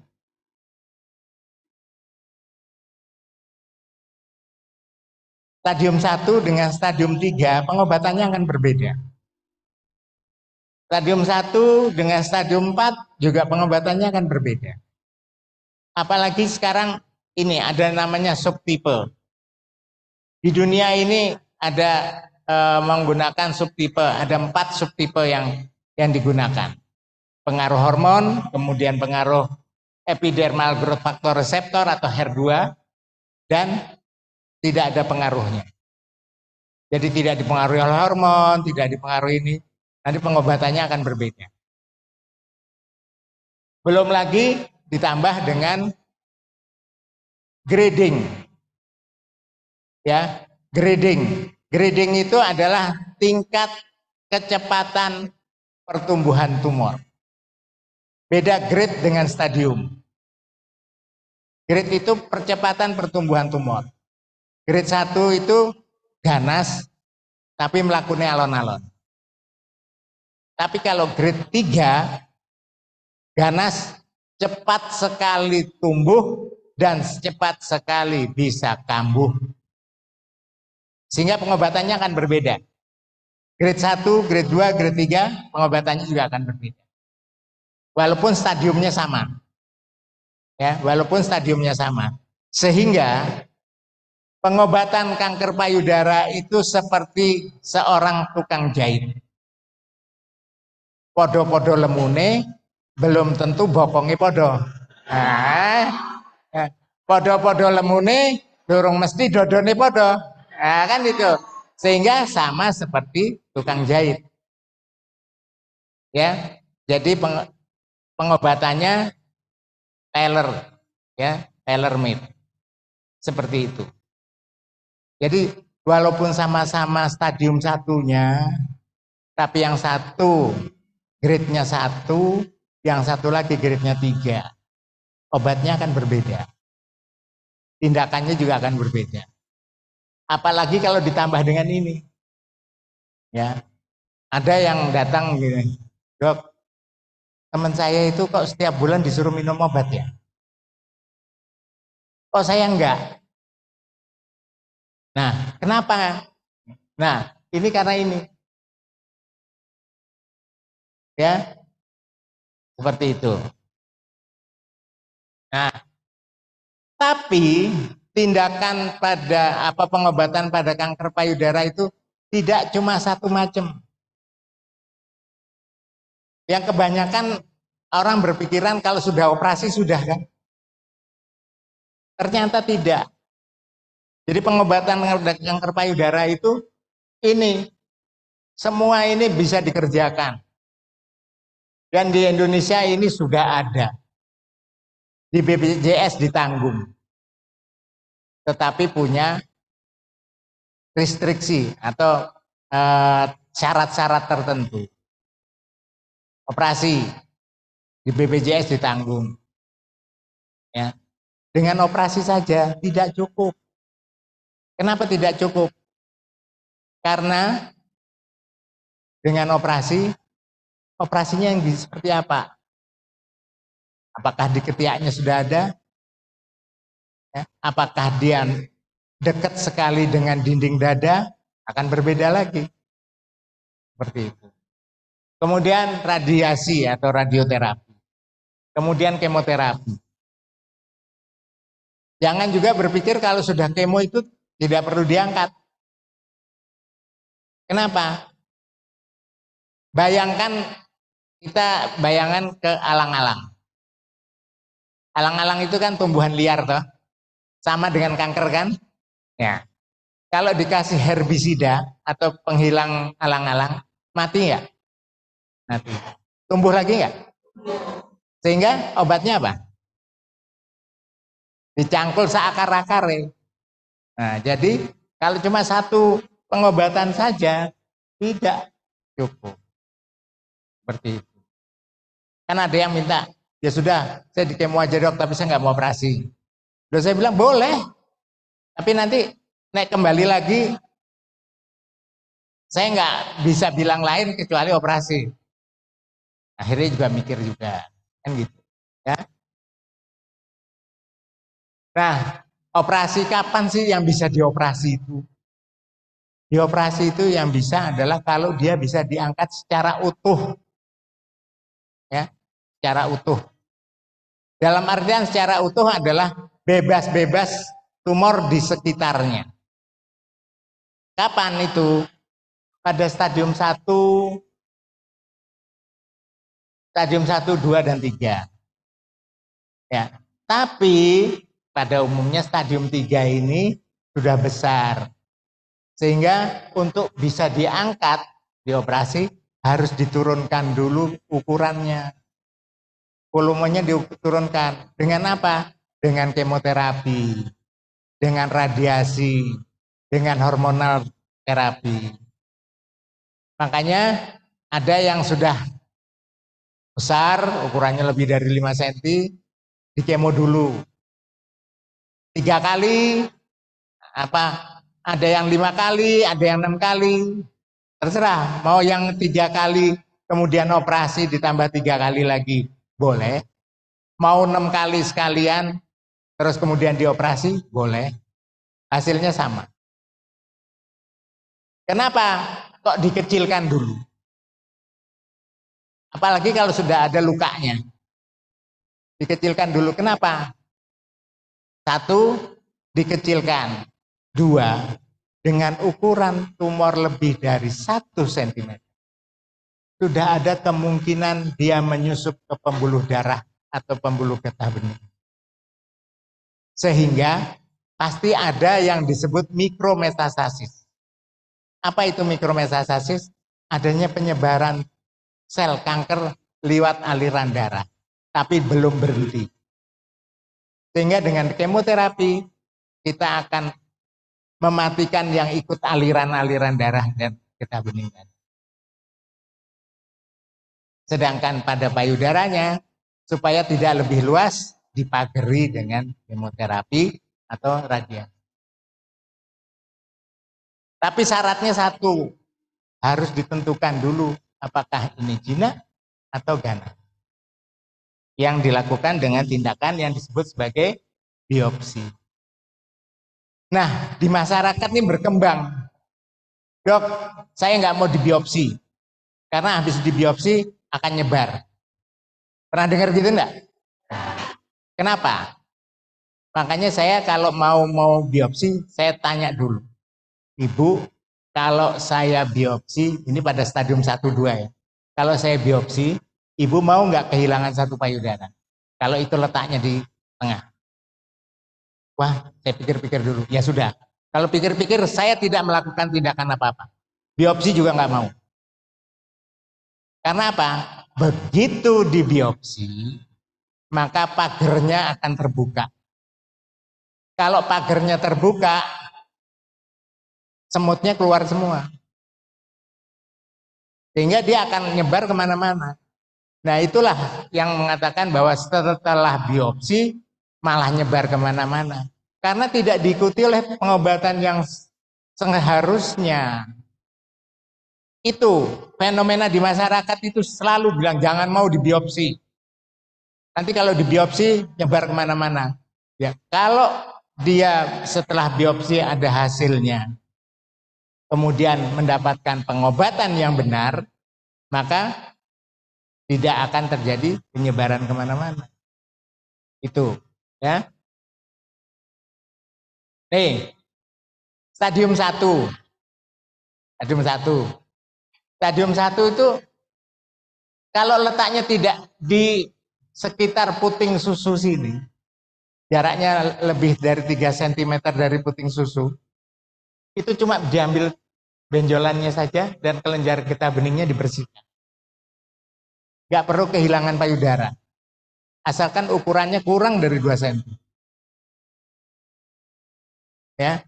Tapi kalau ukurannya sudah agak besar, ya, sehingga waktu diangkat itu tidak bisa bersih, kanan kiri atas bawahnya ini tidak bersih, pinggir-pinggirnya tidak bersih, maka bisa dilakukan namanya quadranectomy atau seperempat payudaranya hilang. Ya. Tapi nanti akan ditutup lagi. Nah, di dalamnya ini kita usahakan untuk membuat mamoplasti namanya. Supaya bentuknya tidak cekung gitu. Ya. Jadi kita putar dari yang bawah ke sana, dari yang atas diputar lagi ke sana. Ya. Memang kalau kalau melakukan mamoplasti mamoplasti pada kasus seperti ini kerjaannya cukup lama. Bisa lima jaman ya.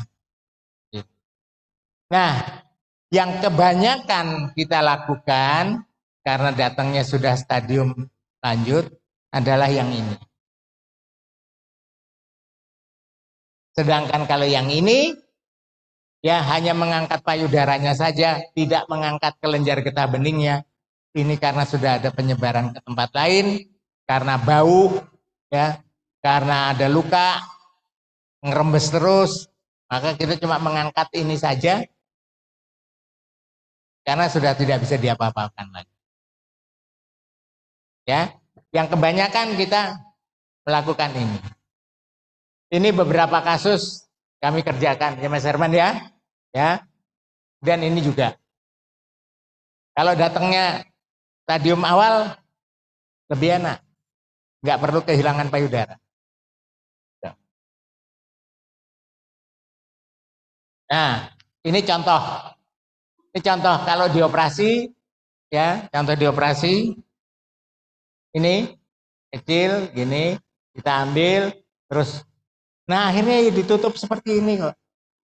Orang-orang berpikirannya habis diambil melongo gitu. Nah, kan gambaran seperti ini ya nggak mungkin lah, kan tambah menderita. Nah seperti itu. Jadi nanti akan ditutup seperti ini. Nah, kalau tadi kita kerjakan, misalnya kita kerjakan yang tadi, kita kerjakan yang ini, ya, ini atau ini, kalau masih kepingin kelihatan payudaranya ada, itu bisa dikerjakan dengan rekonstruksi. Rekonstruksi ini bisa dua macam. Bisa dari tubuhnya sendiri, bisa dari penggunaan implan. Nih, penggunaan implan. Ya. Kalau ini dari tubuhnya sendiri, yang ini. Ya. Biasanya perut kan pada wanita kan biasanya perutnya tebal ya. Nah, ini perutnya dari sini ditambalkan ke sini. Gitu, ya. Kalau ini karena perutnya tidak tebel ya atau punggungnya tidak tebel, nah dikasih isi. Ya, silikon, dikasih isi silikon yang terbungkus bukan silikon cair.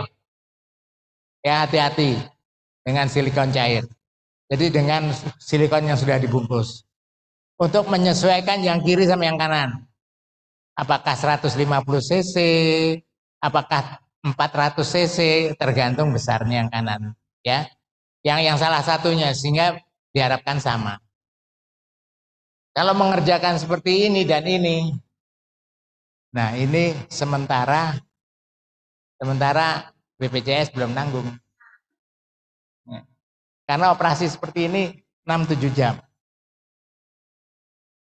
ya ngangkat payudara sebersih bersihnya itu tiga jam Terus kita bikin lagi seperti ini, membuat ini untuk dikembalikan ke sana sekitar tiga jam. Ya. Oke. Nah, kemudian radioterapi. Ini semua orang sering takut dengan radioterapi. Takutnya gosong.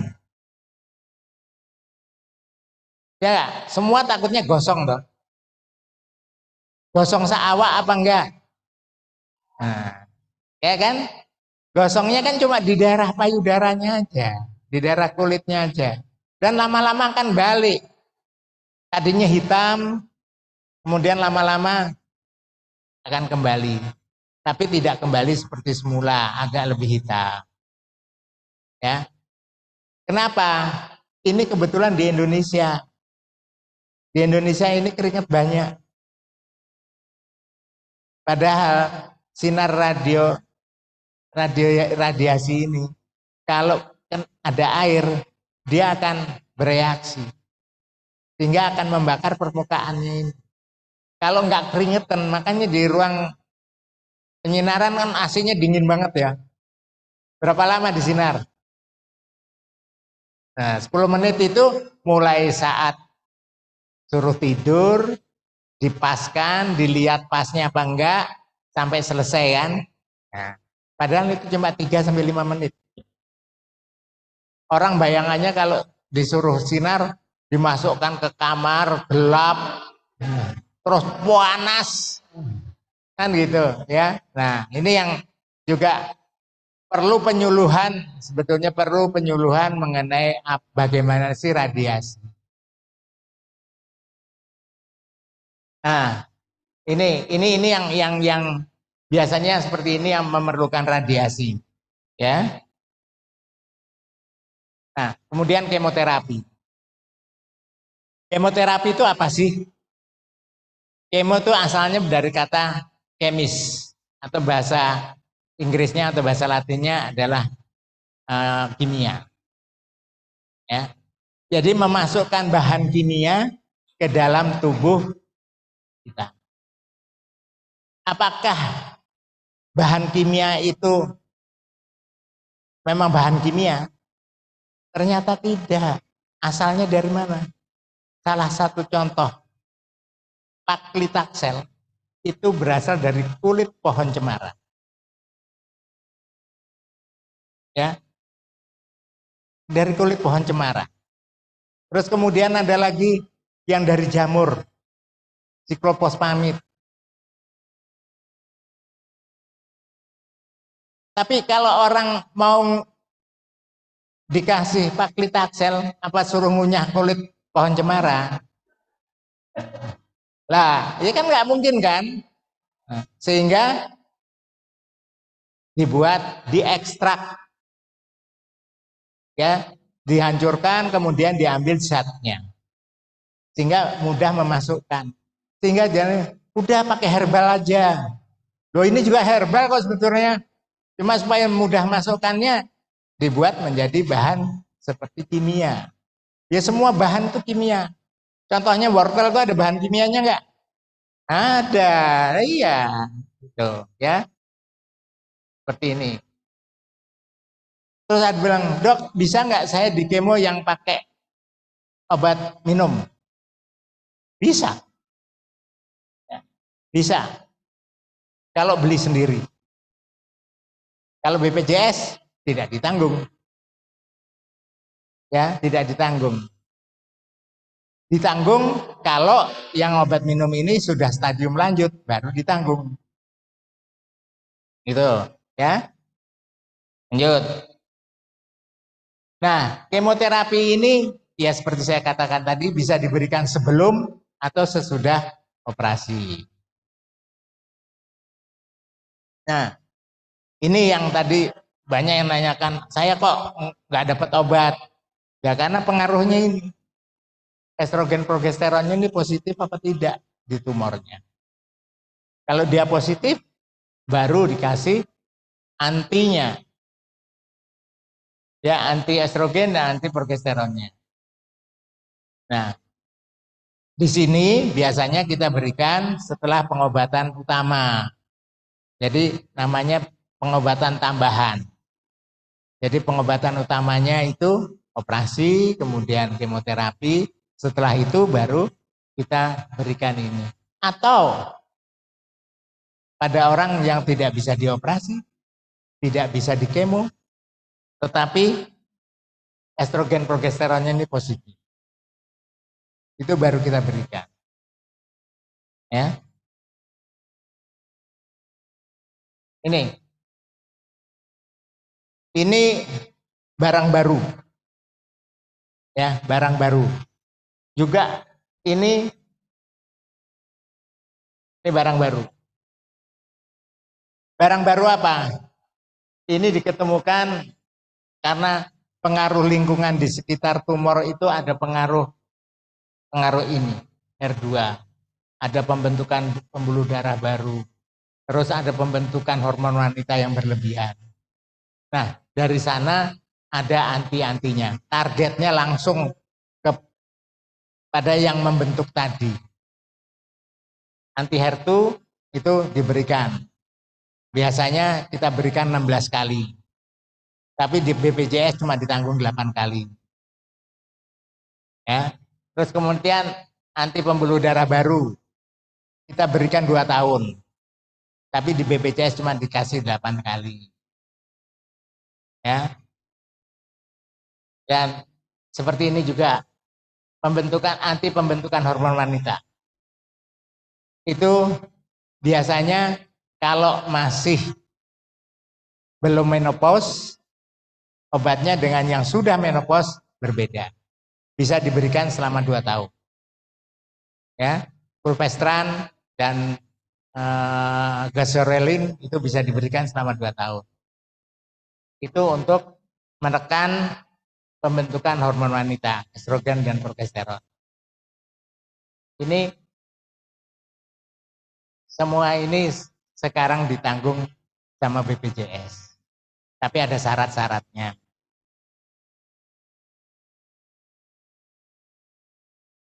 Nah, sekarang ini yang yang pasti mesti ditanyakan. Dok, saya ini sudah kena gini, umur saya sampai kapan? Saya bilang saya tidak pernah akan menjawab.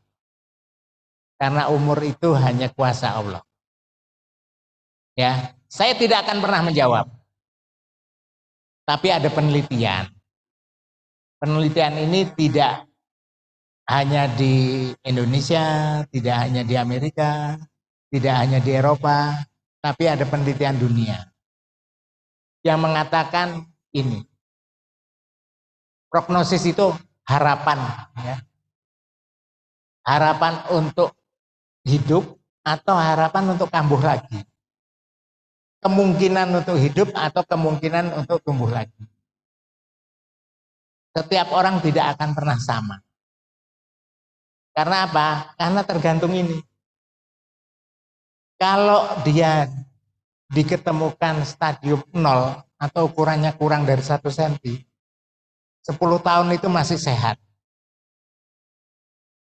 Tapi kalau dia sudah stadium 1, 5 tahun itu sehat. Asalkan grade-nya rendah. Nah, seperti ini. Tapi kalau sudah stadium 4, ini angka harapan hidup lebih kecil lagi. Stadium 3 aja harapan hidupnya. Ini data terakhir dari uh, Inggris ya, Yuki. Di Amerika ini masih di bawah. Ini masih cuma 15 persen, ini 40 persen, terus kemudian ini uh, sekitar 80 persen. Ya. Ini, ini data terakhir dunia. Itu. Jadi jangan khawatir. Walaupun sudah menderita, tapi harapan hidupnya masih besar. Asalkan ini. Ini yang penting. Asalkan ini optimis Ya, satu optimis. Optimisnya apa? Mengikuti kaidah pengobatan yang benar. Begitu. Optimis. Terus yang ini nih. Cukup istirahat artinya memang diatur waktu istirahatnya. Bukan karena saya sudah capek baru istirahat. Ya, itu. Tapi memang diatur. Kenapa? Karena siklus hidup manusia 24 jam itu punya waktu istirahat dan punya waktu aktif. Sehingga ini harus diatur betul. Tidak boleh terlalu capek, tapi tidak boleh diam saja. Ini yang kebanyakan, ini terus terang kebanyakan ya. Kalau ada keluarganya yang habis operasi, terus semua kegiatannya diambil alih oleh orang lain. Benar nggak? Itu artinya menganggap orang ini masih sakit. Itu sama dengan mendoakan ya loro. Itu yang nggak boleh. Anggap sudah sembuh, jadi dia punya semangat. Lingkungan mempengaruhi, ya. Lingkungan, makanya ini ada yang namanya support. Lingkungan itu yang berpengaruh. Ya. Bahkan lingkungan bilang, loh bar operasi kok, terus nyapu-nyapu. Hmm. Ya, sama suaminya nggak boleh, sama anaknya apalagi. Apalagi terus dia rasani tonggone mari operasi wong nek kambuh lo yo. Nah, ditakut kan gitu. Nah itu. Nah ini yang harus diperhatikan. Ya kedua ini. Mengatur emosi dan stres itu yang bisa melakukan hanya diri kita sendiri ya orang dengan di Ponis kanker payudara itu ada empat stadium.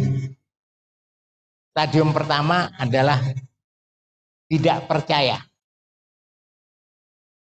Tidak percaya. Gak mungkin aku kena ini. Pertama. Ya. Terus yang kedua, setelah mikir-mikir, yo paling yo. Iya paling ya. Nah, terus akhirnya mau berobat. Ya berobat. Kompromi. Ya mau diapakan sih? Nah tapi masih mikir-mikir. Mau diginikan isi mikir waduh kok dia naik no, terus akhirnya stadium yang ketiga ya saya sudah siap. Menyerahkan. Ya yang terakhir adalah pasrah jadi ada stadium ini akan di, terjadi pada semua penderita kanker pasti pertama itu menolak. Tidak gitu. Akhirnya yang terakhir, ya sudah, kita berdamai dengan apa yang ada. Itu. Semua kanker, tidak hanya payudara saja. Ya. Kemudian selama pengobatan itu pasti mengalami hal-hal yang tidak enak. Ya. Habis operasi, pakai balutan, ada selang gandol-gandol, baru akan dilepas kalau sudah kurang dari 25 cc. Mau ke kamar mandi bawa telale kan gitu ya. Nah, ini satu. Terus kemudian mau dilepas, waduh, kok kayak opo ya, bayangannya gitu. Nah, itu satu stres lagi. Itu kan stres kan? Terus sudah, terus hasilnya keluar, dia bani, ibu harus kemo. Wah, kemo.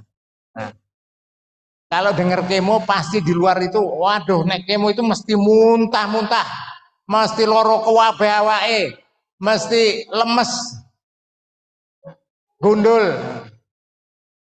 Terus saya tanya, yang sudah ngarami kemo gimana? Hah? Enggak kalau gundul pasti. Muntah-muntahnya iya enggak? Ya. ya. Mungkin iki sih pasienku sing ngangket aja. Kok bilang enggak tuh. Ya, nah, muntah-muntah enggak. Kalau mual ya, mual ya. Kenapa kok mual? Ya, kenapa mual? Kenapa kok muntah? Karena obat kemoterapi ini bekerja pada sel yang sedang tumbuh. Sel yang sedang tumbuh itu di mana? Satu, permukaan lidah. Setiap hari sel permukaan lidah ini mesti ada yang mati dan ada yang tumbuh.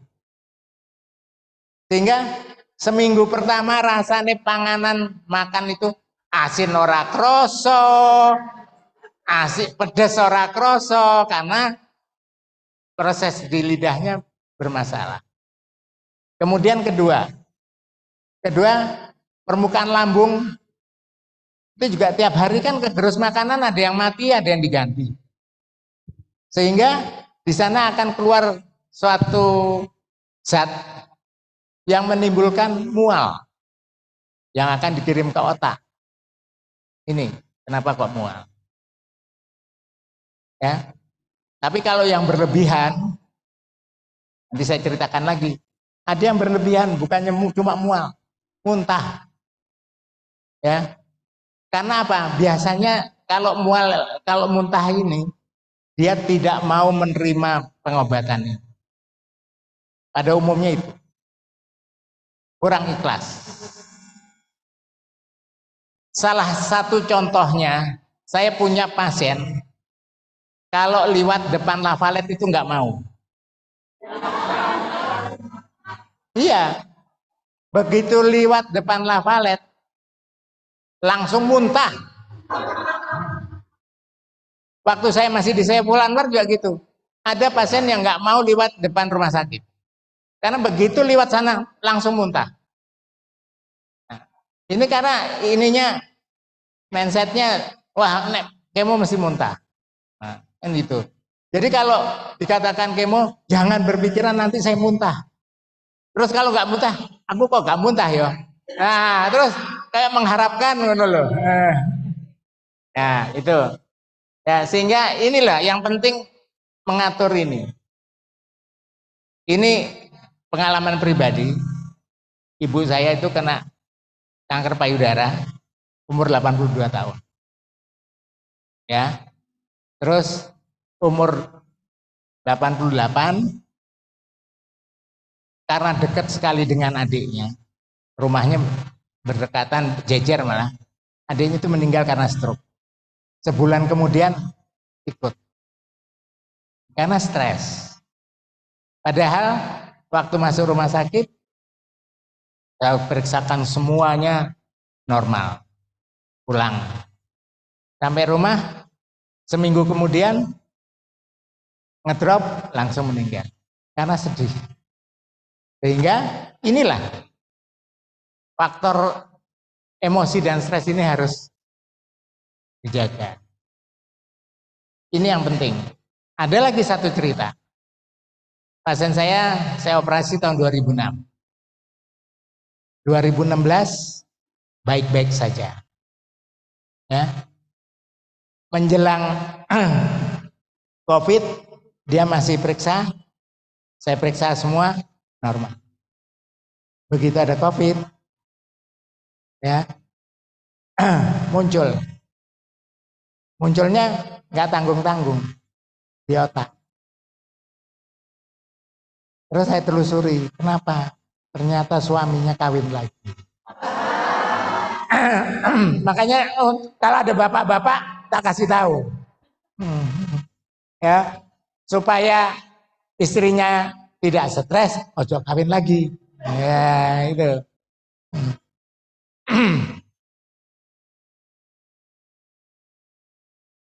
oh gitu.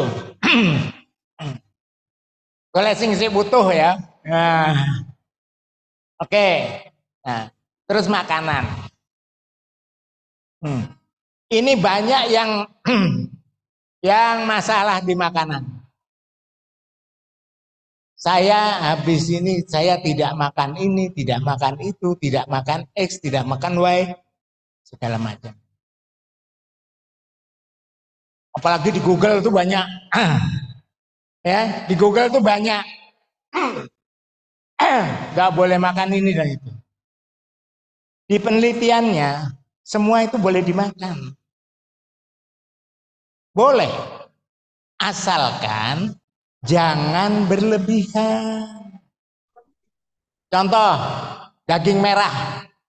Contoh ini yang paling sering ditanyakan daging merah. Apakah daging merah tidak boleh?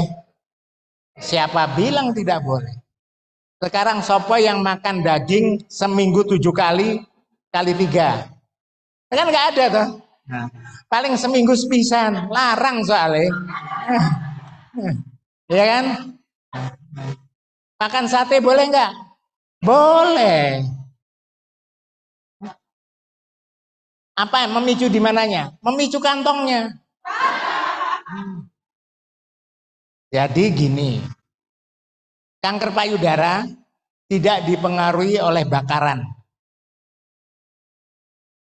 Yang dipengaruhi adalah kanker usus. Dan kalau bakarnya jadi areng. Kalau bakarnya itu bagus, dagingnya dibakar matangnya bareng, tidak ada yang hitam-hitamnya itu, tidak masalah. Yang hitam-hitamnya itulah yang harus dibuang, yang tidak dimakan. Kan gebiahwiyah atau namanya gitu. Ya, nggak boleh makan sate. Tukang sate rugi ya. Nah, itu. Terus kemudian nggak boleh apalagi penyedap. Seafood. Gula. Nah. nah, itu ada nanti. Kenapa kok gula nggak boleh? Kenapa seafood nggak boleh? Sebetulnya itu salah semua. Nah, justru dianjurkan makanan yang rendah lemak. Salah satu makanan yang rendah lemak adalah seafood. Daging boleh, Asalkan juga lemaknya yang sedikit. Padahal sing enak itu sing ono lemak. Nah, itu. Nah, nah, itu gula.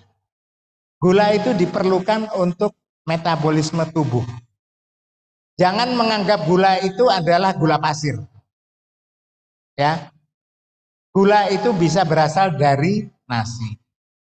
Bisa berasal dari jagung bisa berasal dari telo, bisa berasal dari pohon, juga berasal dari buah-buahan. Kalau gula ini enggak dimakan semua, bagaimana bisa hidup? Untuk melawan kanker itu diperlukan protein. Ya, untuk melawan kanker itu diperlukan protein.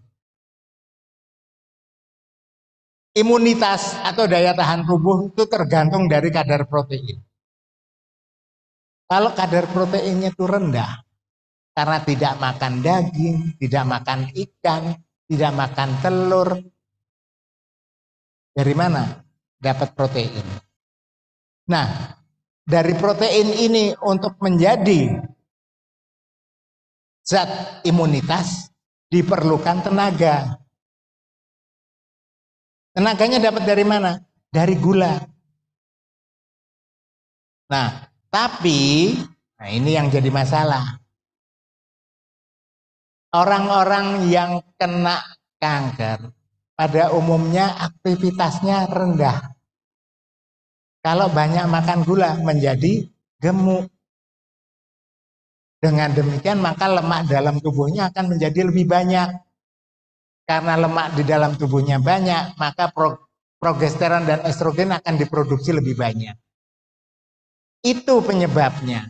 Bukannya tidak boleh, tapi dikurangi supaya tidak gemuk. Itu aja sebetulnya. Ya. Protein diperlukan. Jadi makanannya apa yang bagus? Ya, seperti itu. Nah, nah ini ini yang akhirnya di sinilah fungsi dari laf. Ya, ini fungsi dari ini Laughing ini di sini.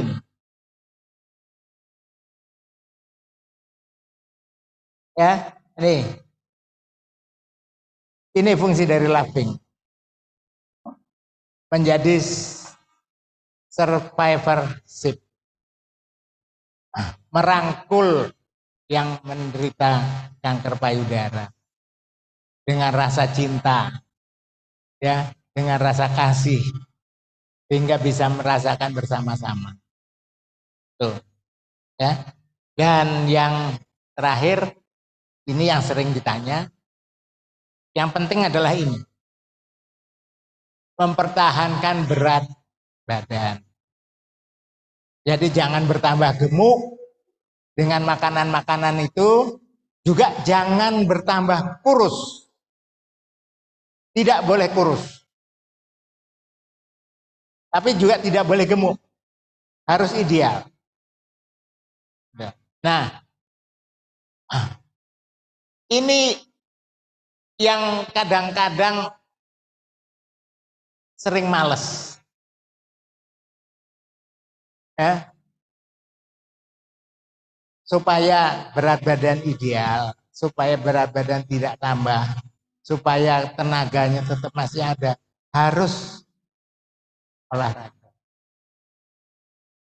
Olahraga yang paling murah yang saya kerjakan selama 20 tahun ini adalah jalan pagi. Saya jalan pagi setiap hari minimal 3 kilo. Ya mulai jam 5.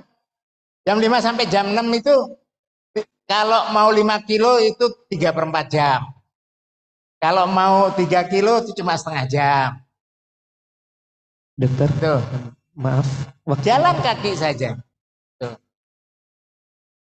Nah ini. Juga makanan-makanan selama kemo. Selama kemo kan mulutnya nggak enak. Sehingga janganlah makan makanan yang merangsang. Contohnya pedas. Ya. Terus karena daerah sini kan masih rawan ini. Sehingga nanti terus asariawan segala macam itu. Nah, ini. Ini ya, ini terakhir. terakhir. Ini terakhir. Ya, terus meningkatkan daya tahan tubuh dengan makanan yang mengandung banyak protein, sayur-sayuran, semua sayuran itu yang mengandung beta karotin itu yang paling bagus. Ya. Apa saja sayurannya boleh. Ya. Tidak ada pantangan sayuran. Tuh, kerjakan. Kemudian protein apa saja boleh asalkan tidak berlebihan. Lemaknya yang dikurangi. Terus kemudian nih, mempertahankan kekuatan tubuh. Nek turu terus, leyeh-leyeh terus, pasti lemes. Jadi aktivitas seperti biasa. Sebelum kena dan sesudah kena, kerjakan sama. Nah, sehingga dengan demikian akan meningkatkan kualitas hidup kita.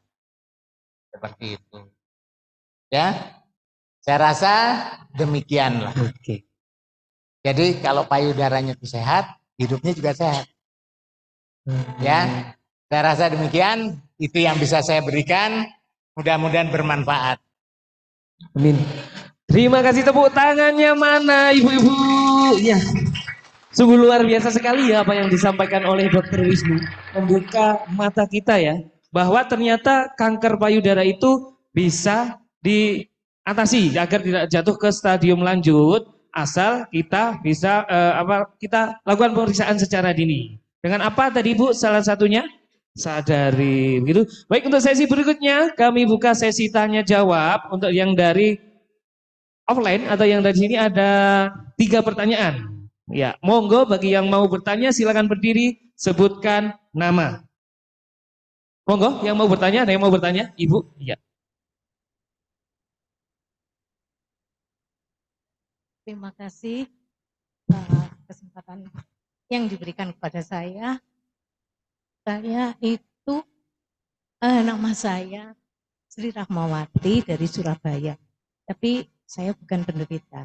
Pak, eh, ketika saya umur 50 tahun itu diberi suntikan hormon sehingga men, menopause saya itu menjadi umur 55. Ya, jadi kelihatan di situ bisa mudah terkena kanker ya. Eh, dan tadi mendengar banyak yang kanker setelah eh, usia yang lumayan cukup tua. Saya sekarang usia 67 tahun. Jadi saya juga takut satu itu ya. Eh, apakah bisa ya? Saya juga nggak kepingin kena karena tembung operasi itu buat saya sangat mengerikan sekali. Dengan operasi itu saya takut. Tapi ketika saya umur eh, 60 tahun, ada benjolan kecil sedikit Pak di sini. Sebesar apa namanya? kacang hijau. Ada dua. Itu pun tidak tahu tiba-tiba pas waktu mandi ketahuan.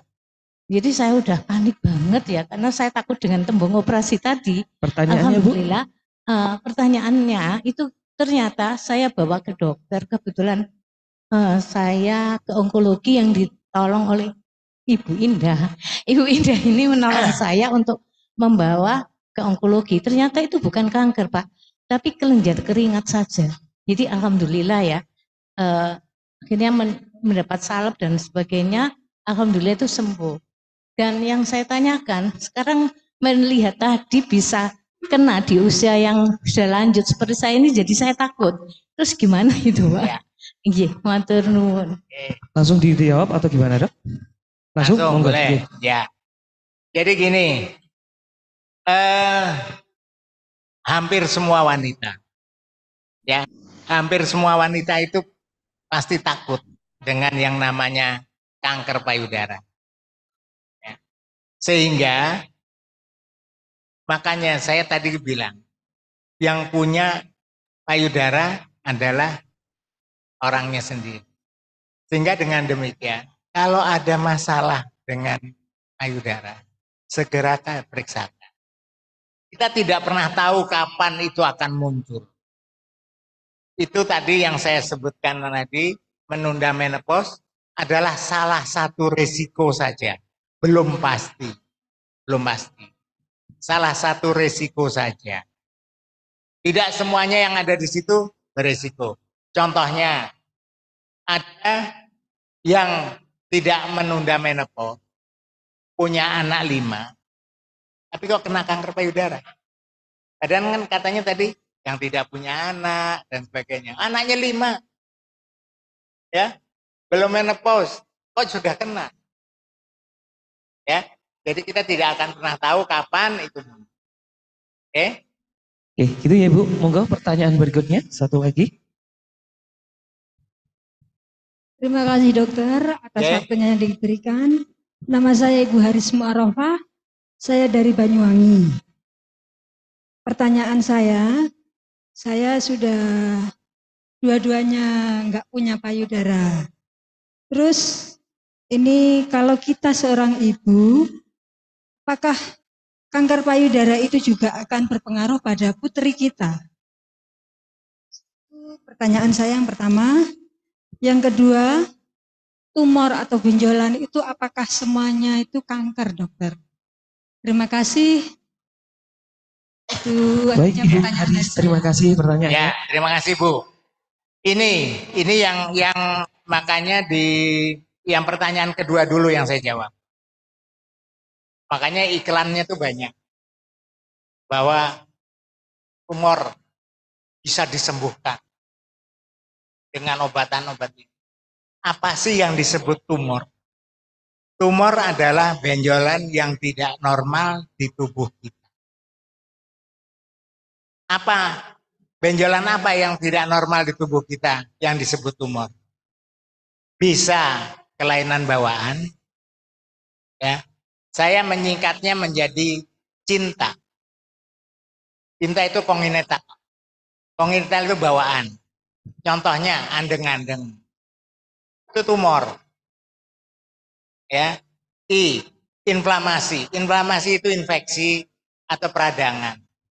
Contohnya adalah bisul. Itu ya juga tumor. N, neoplasma. Neoplasma itu tumbuh jaringan baru. tumbuh jaringan baru itu seperti apa? Bisa berisi cairan, bisa berisi daging. Nah, sekarang yang namanya tumbuh jaringan baru ini kita bagi dua, jinak dan ganas. Jadi tidak semua tumor itu adalah kanker. Kalau ganas baru kanker.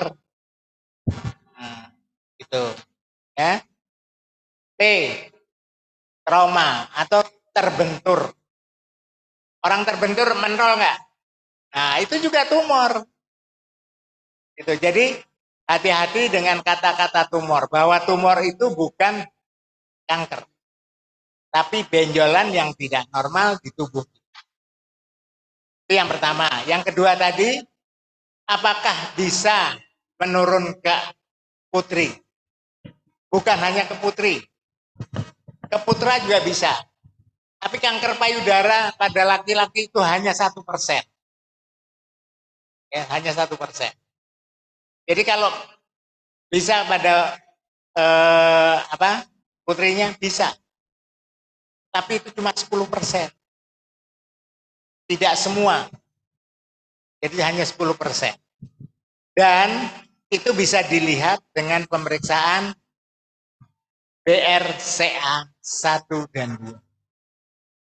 Ya, diperiksa BRCA 1 dan 2. Ya. Nah, tapi ini bisa diambil dari eh, dari apa? darah, bisa diambil dari jaringan, tergantung. Kalau yang dari darah itu sekarang biayanya sekitar 5 juta. Untuk melihat apakah kemungkinan ini diturunkan. Gitu. Ya. Terima kasih dokter. Ibu cukup untuk pertanyaan berikutnya. Monggo langsung satu kali. Assalamualaikum warahmatullahi wabarakatuh. Dokter saya mau bertanya, eh, saya ini mempunyai tai lalat dari saya muda hingga tua. Eh, apakah tai lalat tadi juga pemicu kanker, dokter? Karena kemarin saya tanya itu ketemunya saya punya benjolan karena sedang membersihkan tai lalat. Sehingga ketika disalep saya menemukan ada benjolan pada payudara. Apakah tai lalat itu juga sebagai tanda-tanda untuk ke arah kanker? Terima kasih. Waalaikumsalam warahmatullahi wabarakatuh. Ya. Makasih ya, Bu. Ya. Jadi tai lalat apakah memicu kanker? Tidak. Ya. Tapi tai lalat bisa berubah menjadi kanker. Bisa, tidak selalu. Terus terang saya banyak tai lalat saya. Ya. Ya. Nah, tai lalat bisa berubah menjadi kanker, tapi tidak tai lalat bisa menyebabkan kanker payudara. Tuh. Itu saja. Gitu, Oke. Satu kali ibunya mungkin? Ya, tidak, cukup tidak Buya. termasuk tanda-tanda. Pertanyaan terakhir untuk yang sesi offline. Selamat siang dokter, nama saya Diva. Eh, saya usia 28 tahun, saya terdiagnosa ductal karsinoma in situ. Lah, sekarang saya menjalani eh, sinar selama 25 kali. Eh, caranya supaya tidak eh supaya sembuh dan tidak relapse lagi itu seperti apa? Dan yang kedua, saya pernah mendengar bahwa eh, kanker ini tidak bisa disembuhkan. Eh, apa ya? Hanya tidur sementara gitu dokter. Apakah itu benar? Terima kasih. Ya. Jadi eh, kanker payudara itu terbagi menjadi dua. Bagi menjadi dua, yang invasif dan yang in situ. Apa artinya? In situ itu kalau ini saluran air susu atau duktal ya, air susu, itu dia masih di dalamnya saja. Jadi masih di lapisan dalamnya saja. Belum sampai menembus eh, luarnya. Ya, makanya pemeriksaan patologi itu menentukan sekali. Cuma masalahnya intraduktal karsinoma atau uh, ductal in situ, itu pengobatannya bagaimana? Tidak perlu dioperasi memang. Tapi langsung saja dilakukan penyinaran. Karena apa? Saluran air susu kan ke mana-mana. Kalau mau dioperasi kan harus diangkat. Padahal itu belum menyebar ke jaringan sekitarnya. Jadi mudah-mudahan dengan cara itu hasilnya baik. Kemudian apakah memang sel kanker itu tidur? Betul. Jadi dalam siklus sel itu ada saatnya dia membelah, ada saatnya dia membentuk, dan ada saatnya dia tidur. Sehingga kenapa kok kalau kemoterapi itu enam kali, paling sedikit enam kali. Karena itu setiap siklus sel itu tidak sama. Ada yang sel sedang diam atau sedang tidur, kemudian ada sel yang sedang aktif, ada yang sel sedang membelah. Nah, pada kemoterapi ini yang terkena adalah sel yang sedang membelah. Sedangkan yang sel sedang tidur tidak bisa kena obat kemoterapi. Sehingga dengan demikian kenapa kok enam kali? Jadi menunggu yang yang yang sedang tidur bangun ditutup nih. Ya. Begitu ada yang bangun disikat lagi seperti itu. Satu. Terus kemudian kapan sel yang tidur tadi bangun, semua orang tidak pernah bisa tahu. Dalam penelitian di mana pun juga belum pernah bisa dijumpai kapan dorman sel yang disebut sebagai dorman sel itu bertumbuh lagi atau dia hidup lagi. Caranya bagaimana? Caranya gimana? Yaitu tadi kita hidup sehat. Prinsipnya hanya itu saja hidup sehat sehingga daya tahan tubuh kita tinggi, maka tidak akan terjadi lagi. Karena apa? Sebetulnya kalau sel kanker itu kurang dari 10 pangkat 5, jadi kalau ada 100 ribu sel kanker, itu dengan daya tahan tubuh kita yang baik akan mati dengan sendiri. Kalau daya tahan tubuh kita tidak baik, imunitas tubuh kita tidak baik, maka ya, yang 100 ribu sel tadi tidak bisa diatasi. Dia akan berkembang jadi dua kali lipat, empat kali lipat, 16 kali lipat, dan seterusnya. Karena pertumbuhan sel kanker adalah sesuai dengan deret ukur. Satu menjadi dua, dua menjadi empat, empat menjadi enam belas, dan seterusnya. Seperti itu. Ya. Oke. Terima kasih dokter. Ya, eh, langsung saja ini ada pertanyaan dokter dari ruang Zoom. Ini pertanyaan pertama dari Ibu Dian H.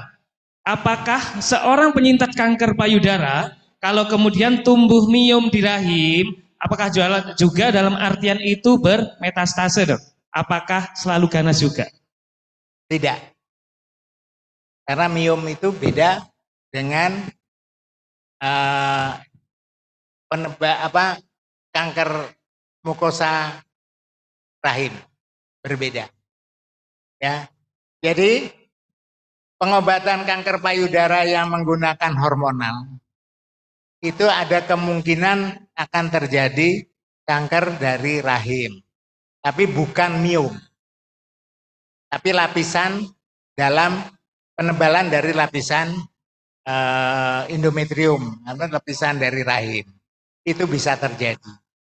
Nah, makanya kenapa kok kalau kontrol ditanya ada keluhan apa? Terutama yang menggunakan tamoxifen. Ya. Dan tamoxifen ini hanya diberikan pada terutama diberikan pada mereka yang premenopause, jadi yang belum menopause. Kalau sudah menopause ada obatnya akan berbeda lagi.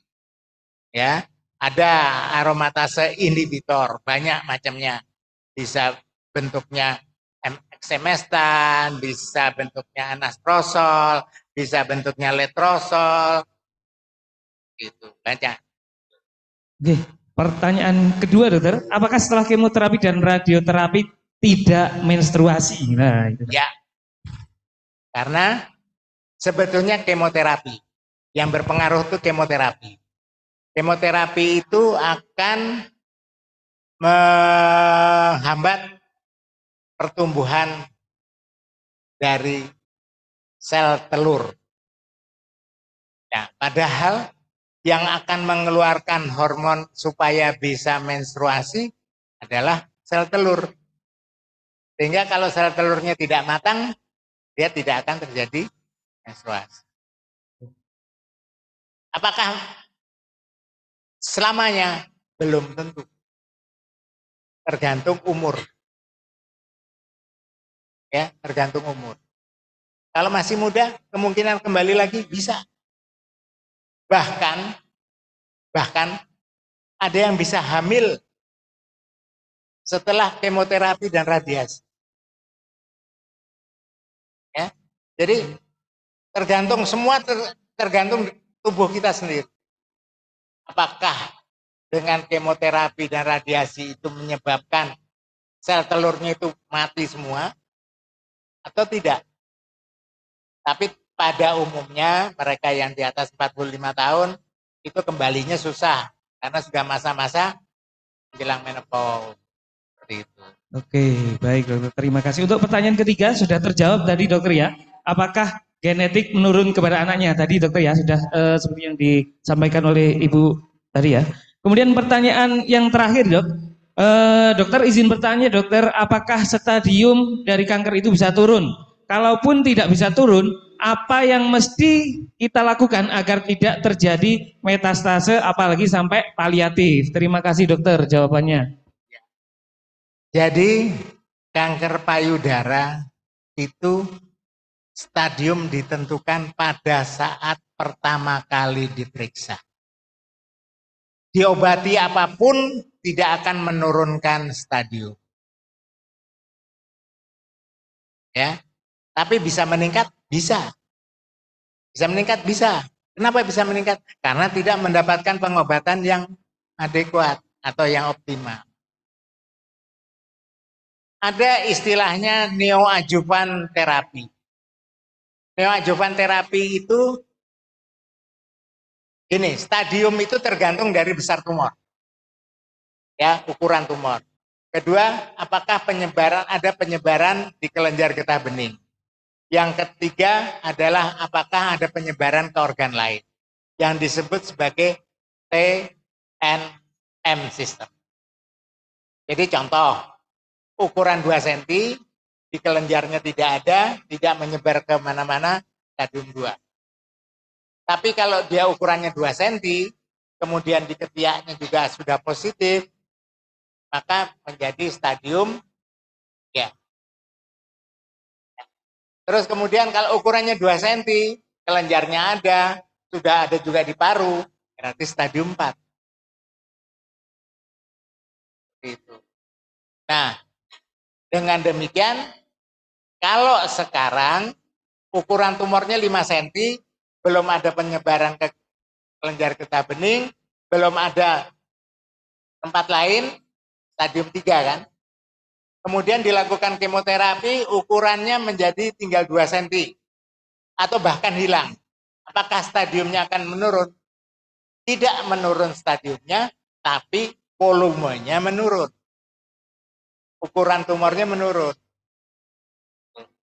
Jadi stadium ditentukan pada saat awal terdiagnosis. Dan itu akan menentukan prognosis tadi. Ya, terima kasih Jelas? dokter jawabannya. Baik dokter, eh, sebelum mengakhiri sesi ini mungkin bisa disampaikan conclusion atau kesimpulan dari eh, apa yang kita bicarakan di seminar kali ini. Ya. Terima kasih Mas Herman. Jadi apa eh, yang sangu yang dibawa pulang.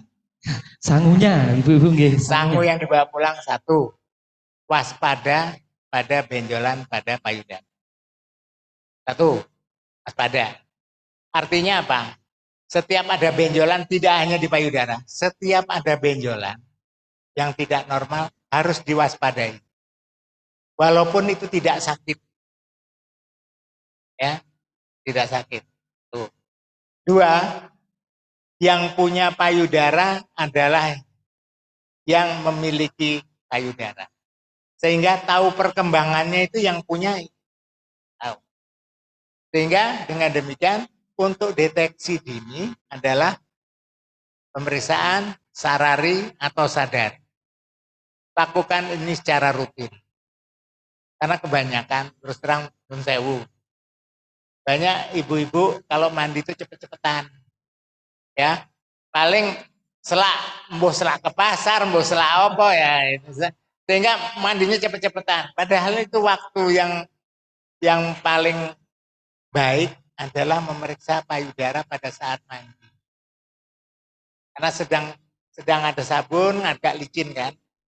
Tuh, deteksi dininya itu. Kemudian yang kedua, kalau memang ada benjolan, segera periksakan ke tenaga ahlinya. Ya.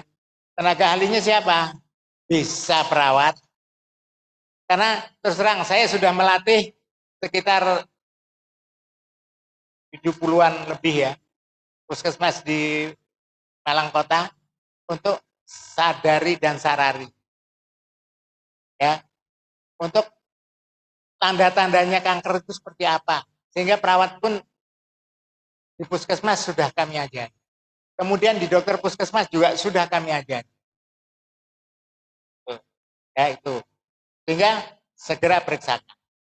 Kalau dia bertumbuh lebih cepat, segera ke rumah sakit walaupun tidak sakit. Masalahnya adalah tidak sakit. Karena yang disebut penyakit itu menurut kita, ini adalah kalau sakit. Ya, kalau nggak sakit ya bukan penyakit. Ya kan gitu. Oh namanya penyakit berarti harus sakit. Nah itu yang salah. Terus yang ketiga, yang terakhir, kalau sudah kena harus ikhlas, optimis, menerima keadaan itu dengan ikhlas dan optimis bahwa saya inilah adalah pemberian yang terbesar yang saya harus tahu. Hadiah seperti itu. Jangan terus dengan adanya itu terus ya drop. Kalau begitu drop hilang sudah. Habis. Ya. Jadi salah satunya dari love pink jangan menyerah. Itu prinsip utama. Ya, pokoknya wegah nyerah. Ya, wegah, gitu. jangan menyerah. Wegah wis ya. Itu prinsipnya. Oke, terima kasih banyak Dokter Wisnu. Tepuk tangannya mana untuk Dokter Wisnu. Sungguh luar biasa sekali apa yang dipaparkan oleh Dokter Wisnu eh, pada pagi hingga menjelang siang. Rasa-rasanya kayak masih kurang ya Bu ya. Waktunya sangat terbatas sekali mungkin di lain waktu kita bisa berjumpa dengan Dokter Wisnu ya di lain acara mungkin ya Bu ya. Baik dok, untuk acara berikutnya ada penyerahan cindera mata dari Love Pink ya. Kami mohon Dokter Wisnu monggo bisa maju ke depan. Dikasih mata ya Bu ya. Monggo dok. Ya ini. Monggo eh, kepada yang Ibu Ketua ya, Koordinator Wilayah Regional Jawa Timur dan Nusa Tenggara, Ibu Pranawati Galwan untuk berkenan menyerahkan cindera mata dari Love Pink.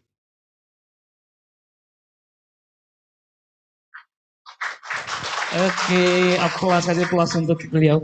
Dihadapkan ke depan piagamnya dihadapkan ke depan. Lagi. Iya, ibu sekretaris yang cuantik, ya. cuantik dan lentik, gitu ya.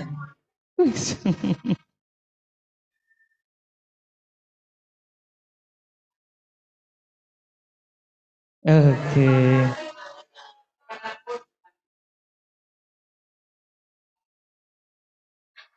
Tepuk tangan untuk Dokter Wisnu. Ya, sungguh semangat luar biasa sekali semangat dari Dokter Wisnu ya untuk membantu memerangi ya eh, angka kejadian ke stadium lanjut dari kanker payudara. Dokter. Terima kasih banyak atas waktu yang diberikan ya. Terima kasih dok waktunya. Eh, mungkin sudah boleh kembali ke tempat.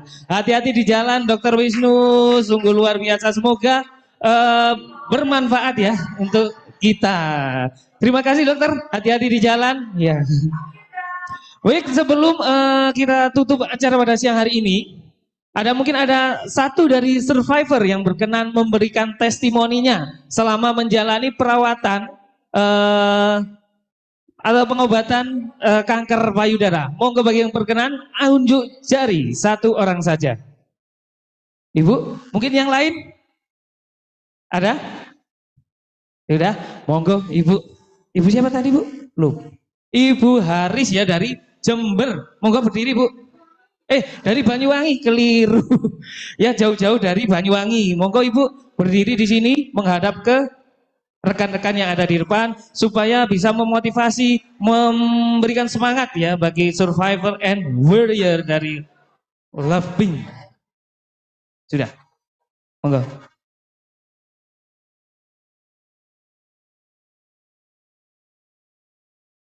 Terima kasih atas waktu yang diberikan.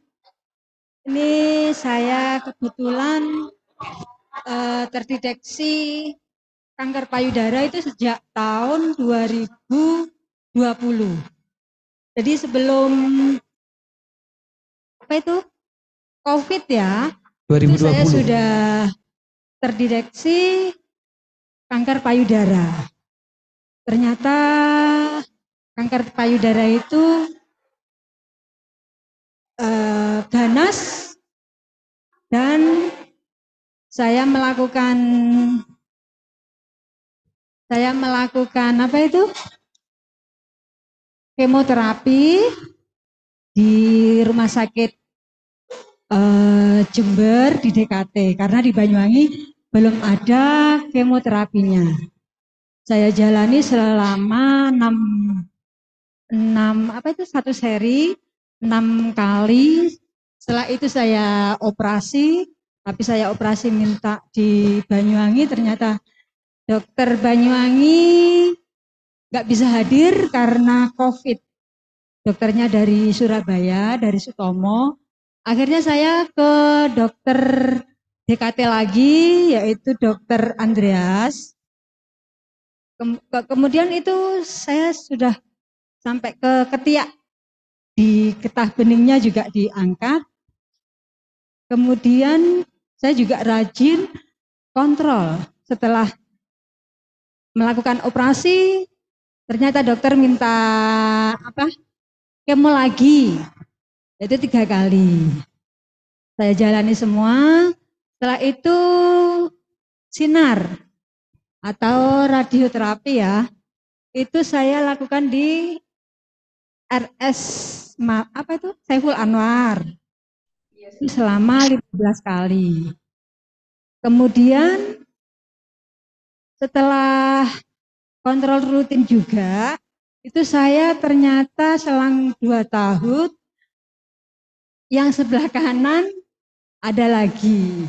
Padahal saya sudah melakukan mamografi juga, Bu. Ternyata cepat perkembangannya. Di sebelah kanan juga terkena, akhirnya kemo lagi. Tapi saya trauma di DKT, pindah ke Subandinya. Di Jember juga. Setelah kemo enam kali, saya menjalani operasi juga. Habis operasi, saya terus minum obat. Apa itu? Obat hormon. Setiap hari minum, Bu. Terus dianjurkan sama dokter yaitu radi radiasi ini, Iya radioterapi. radio apa? Radioterapi. Penyinar, Ya, sinar. selama 25 kali. Itu sebenarnya sama dengan dulu yaitu dokter Rofek. Tapi saya pindah ke Lavalet, minta rujukan ke Lavalet. Tapi saya heran, mau radiasi itu kaki saya, itu kok jalan itu kok su, su- apa sakit gitu. Akhirnya saya nggak tahan, minum obat di toko itu mas, kok enteng. Oh, gitu. Tapi saya nggak mau. Ketergantungan ya. Akhirnya saya stop. Terus ini mungkin efek radiasi juga.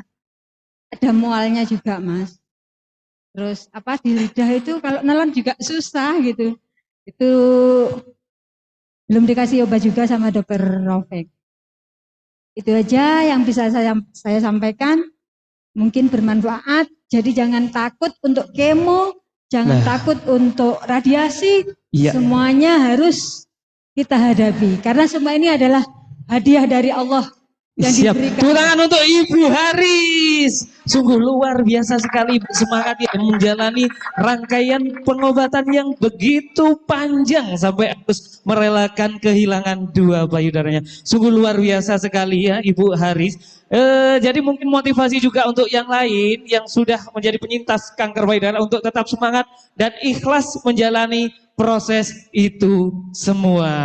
Oke.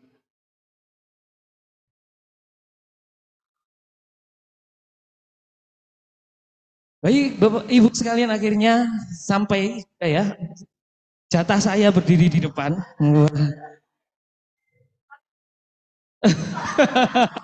Suaranya sudah mulai serak ini Bu ya. Iya.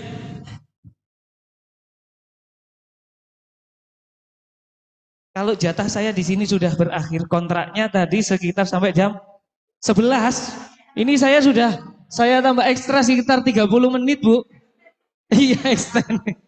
Iya, Eh, mungkin cukup sekian dari saya dan juga panitia dari tim Rumah Sakit Lavalet Malang. Mohon maaf apabila ada kesalahan, ada kekurangan yang mungkin kurang berkenan di hati para ibu sekalian. Kami aturkan mohon maaf yang sebesar-besarnya.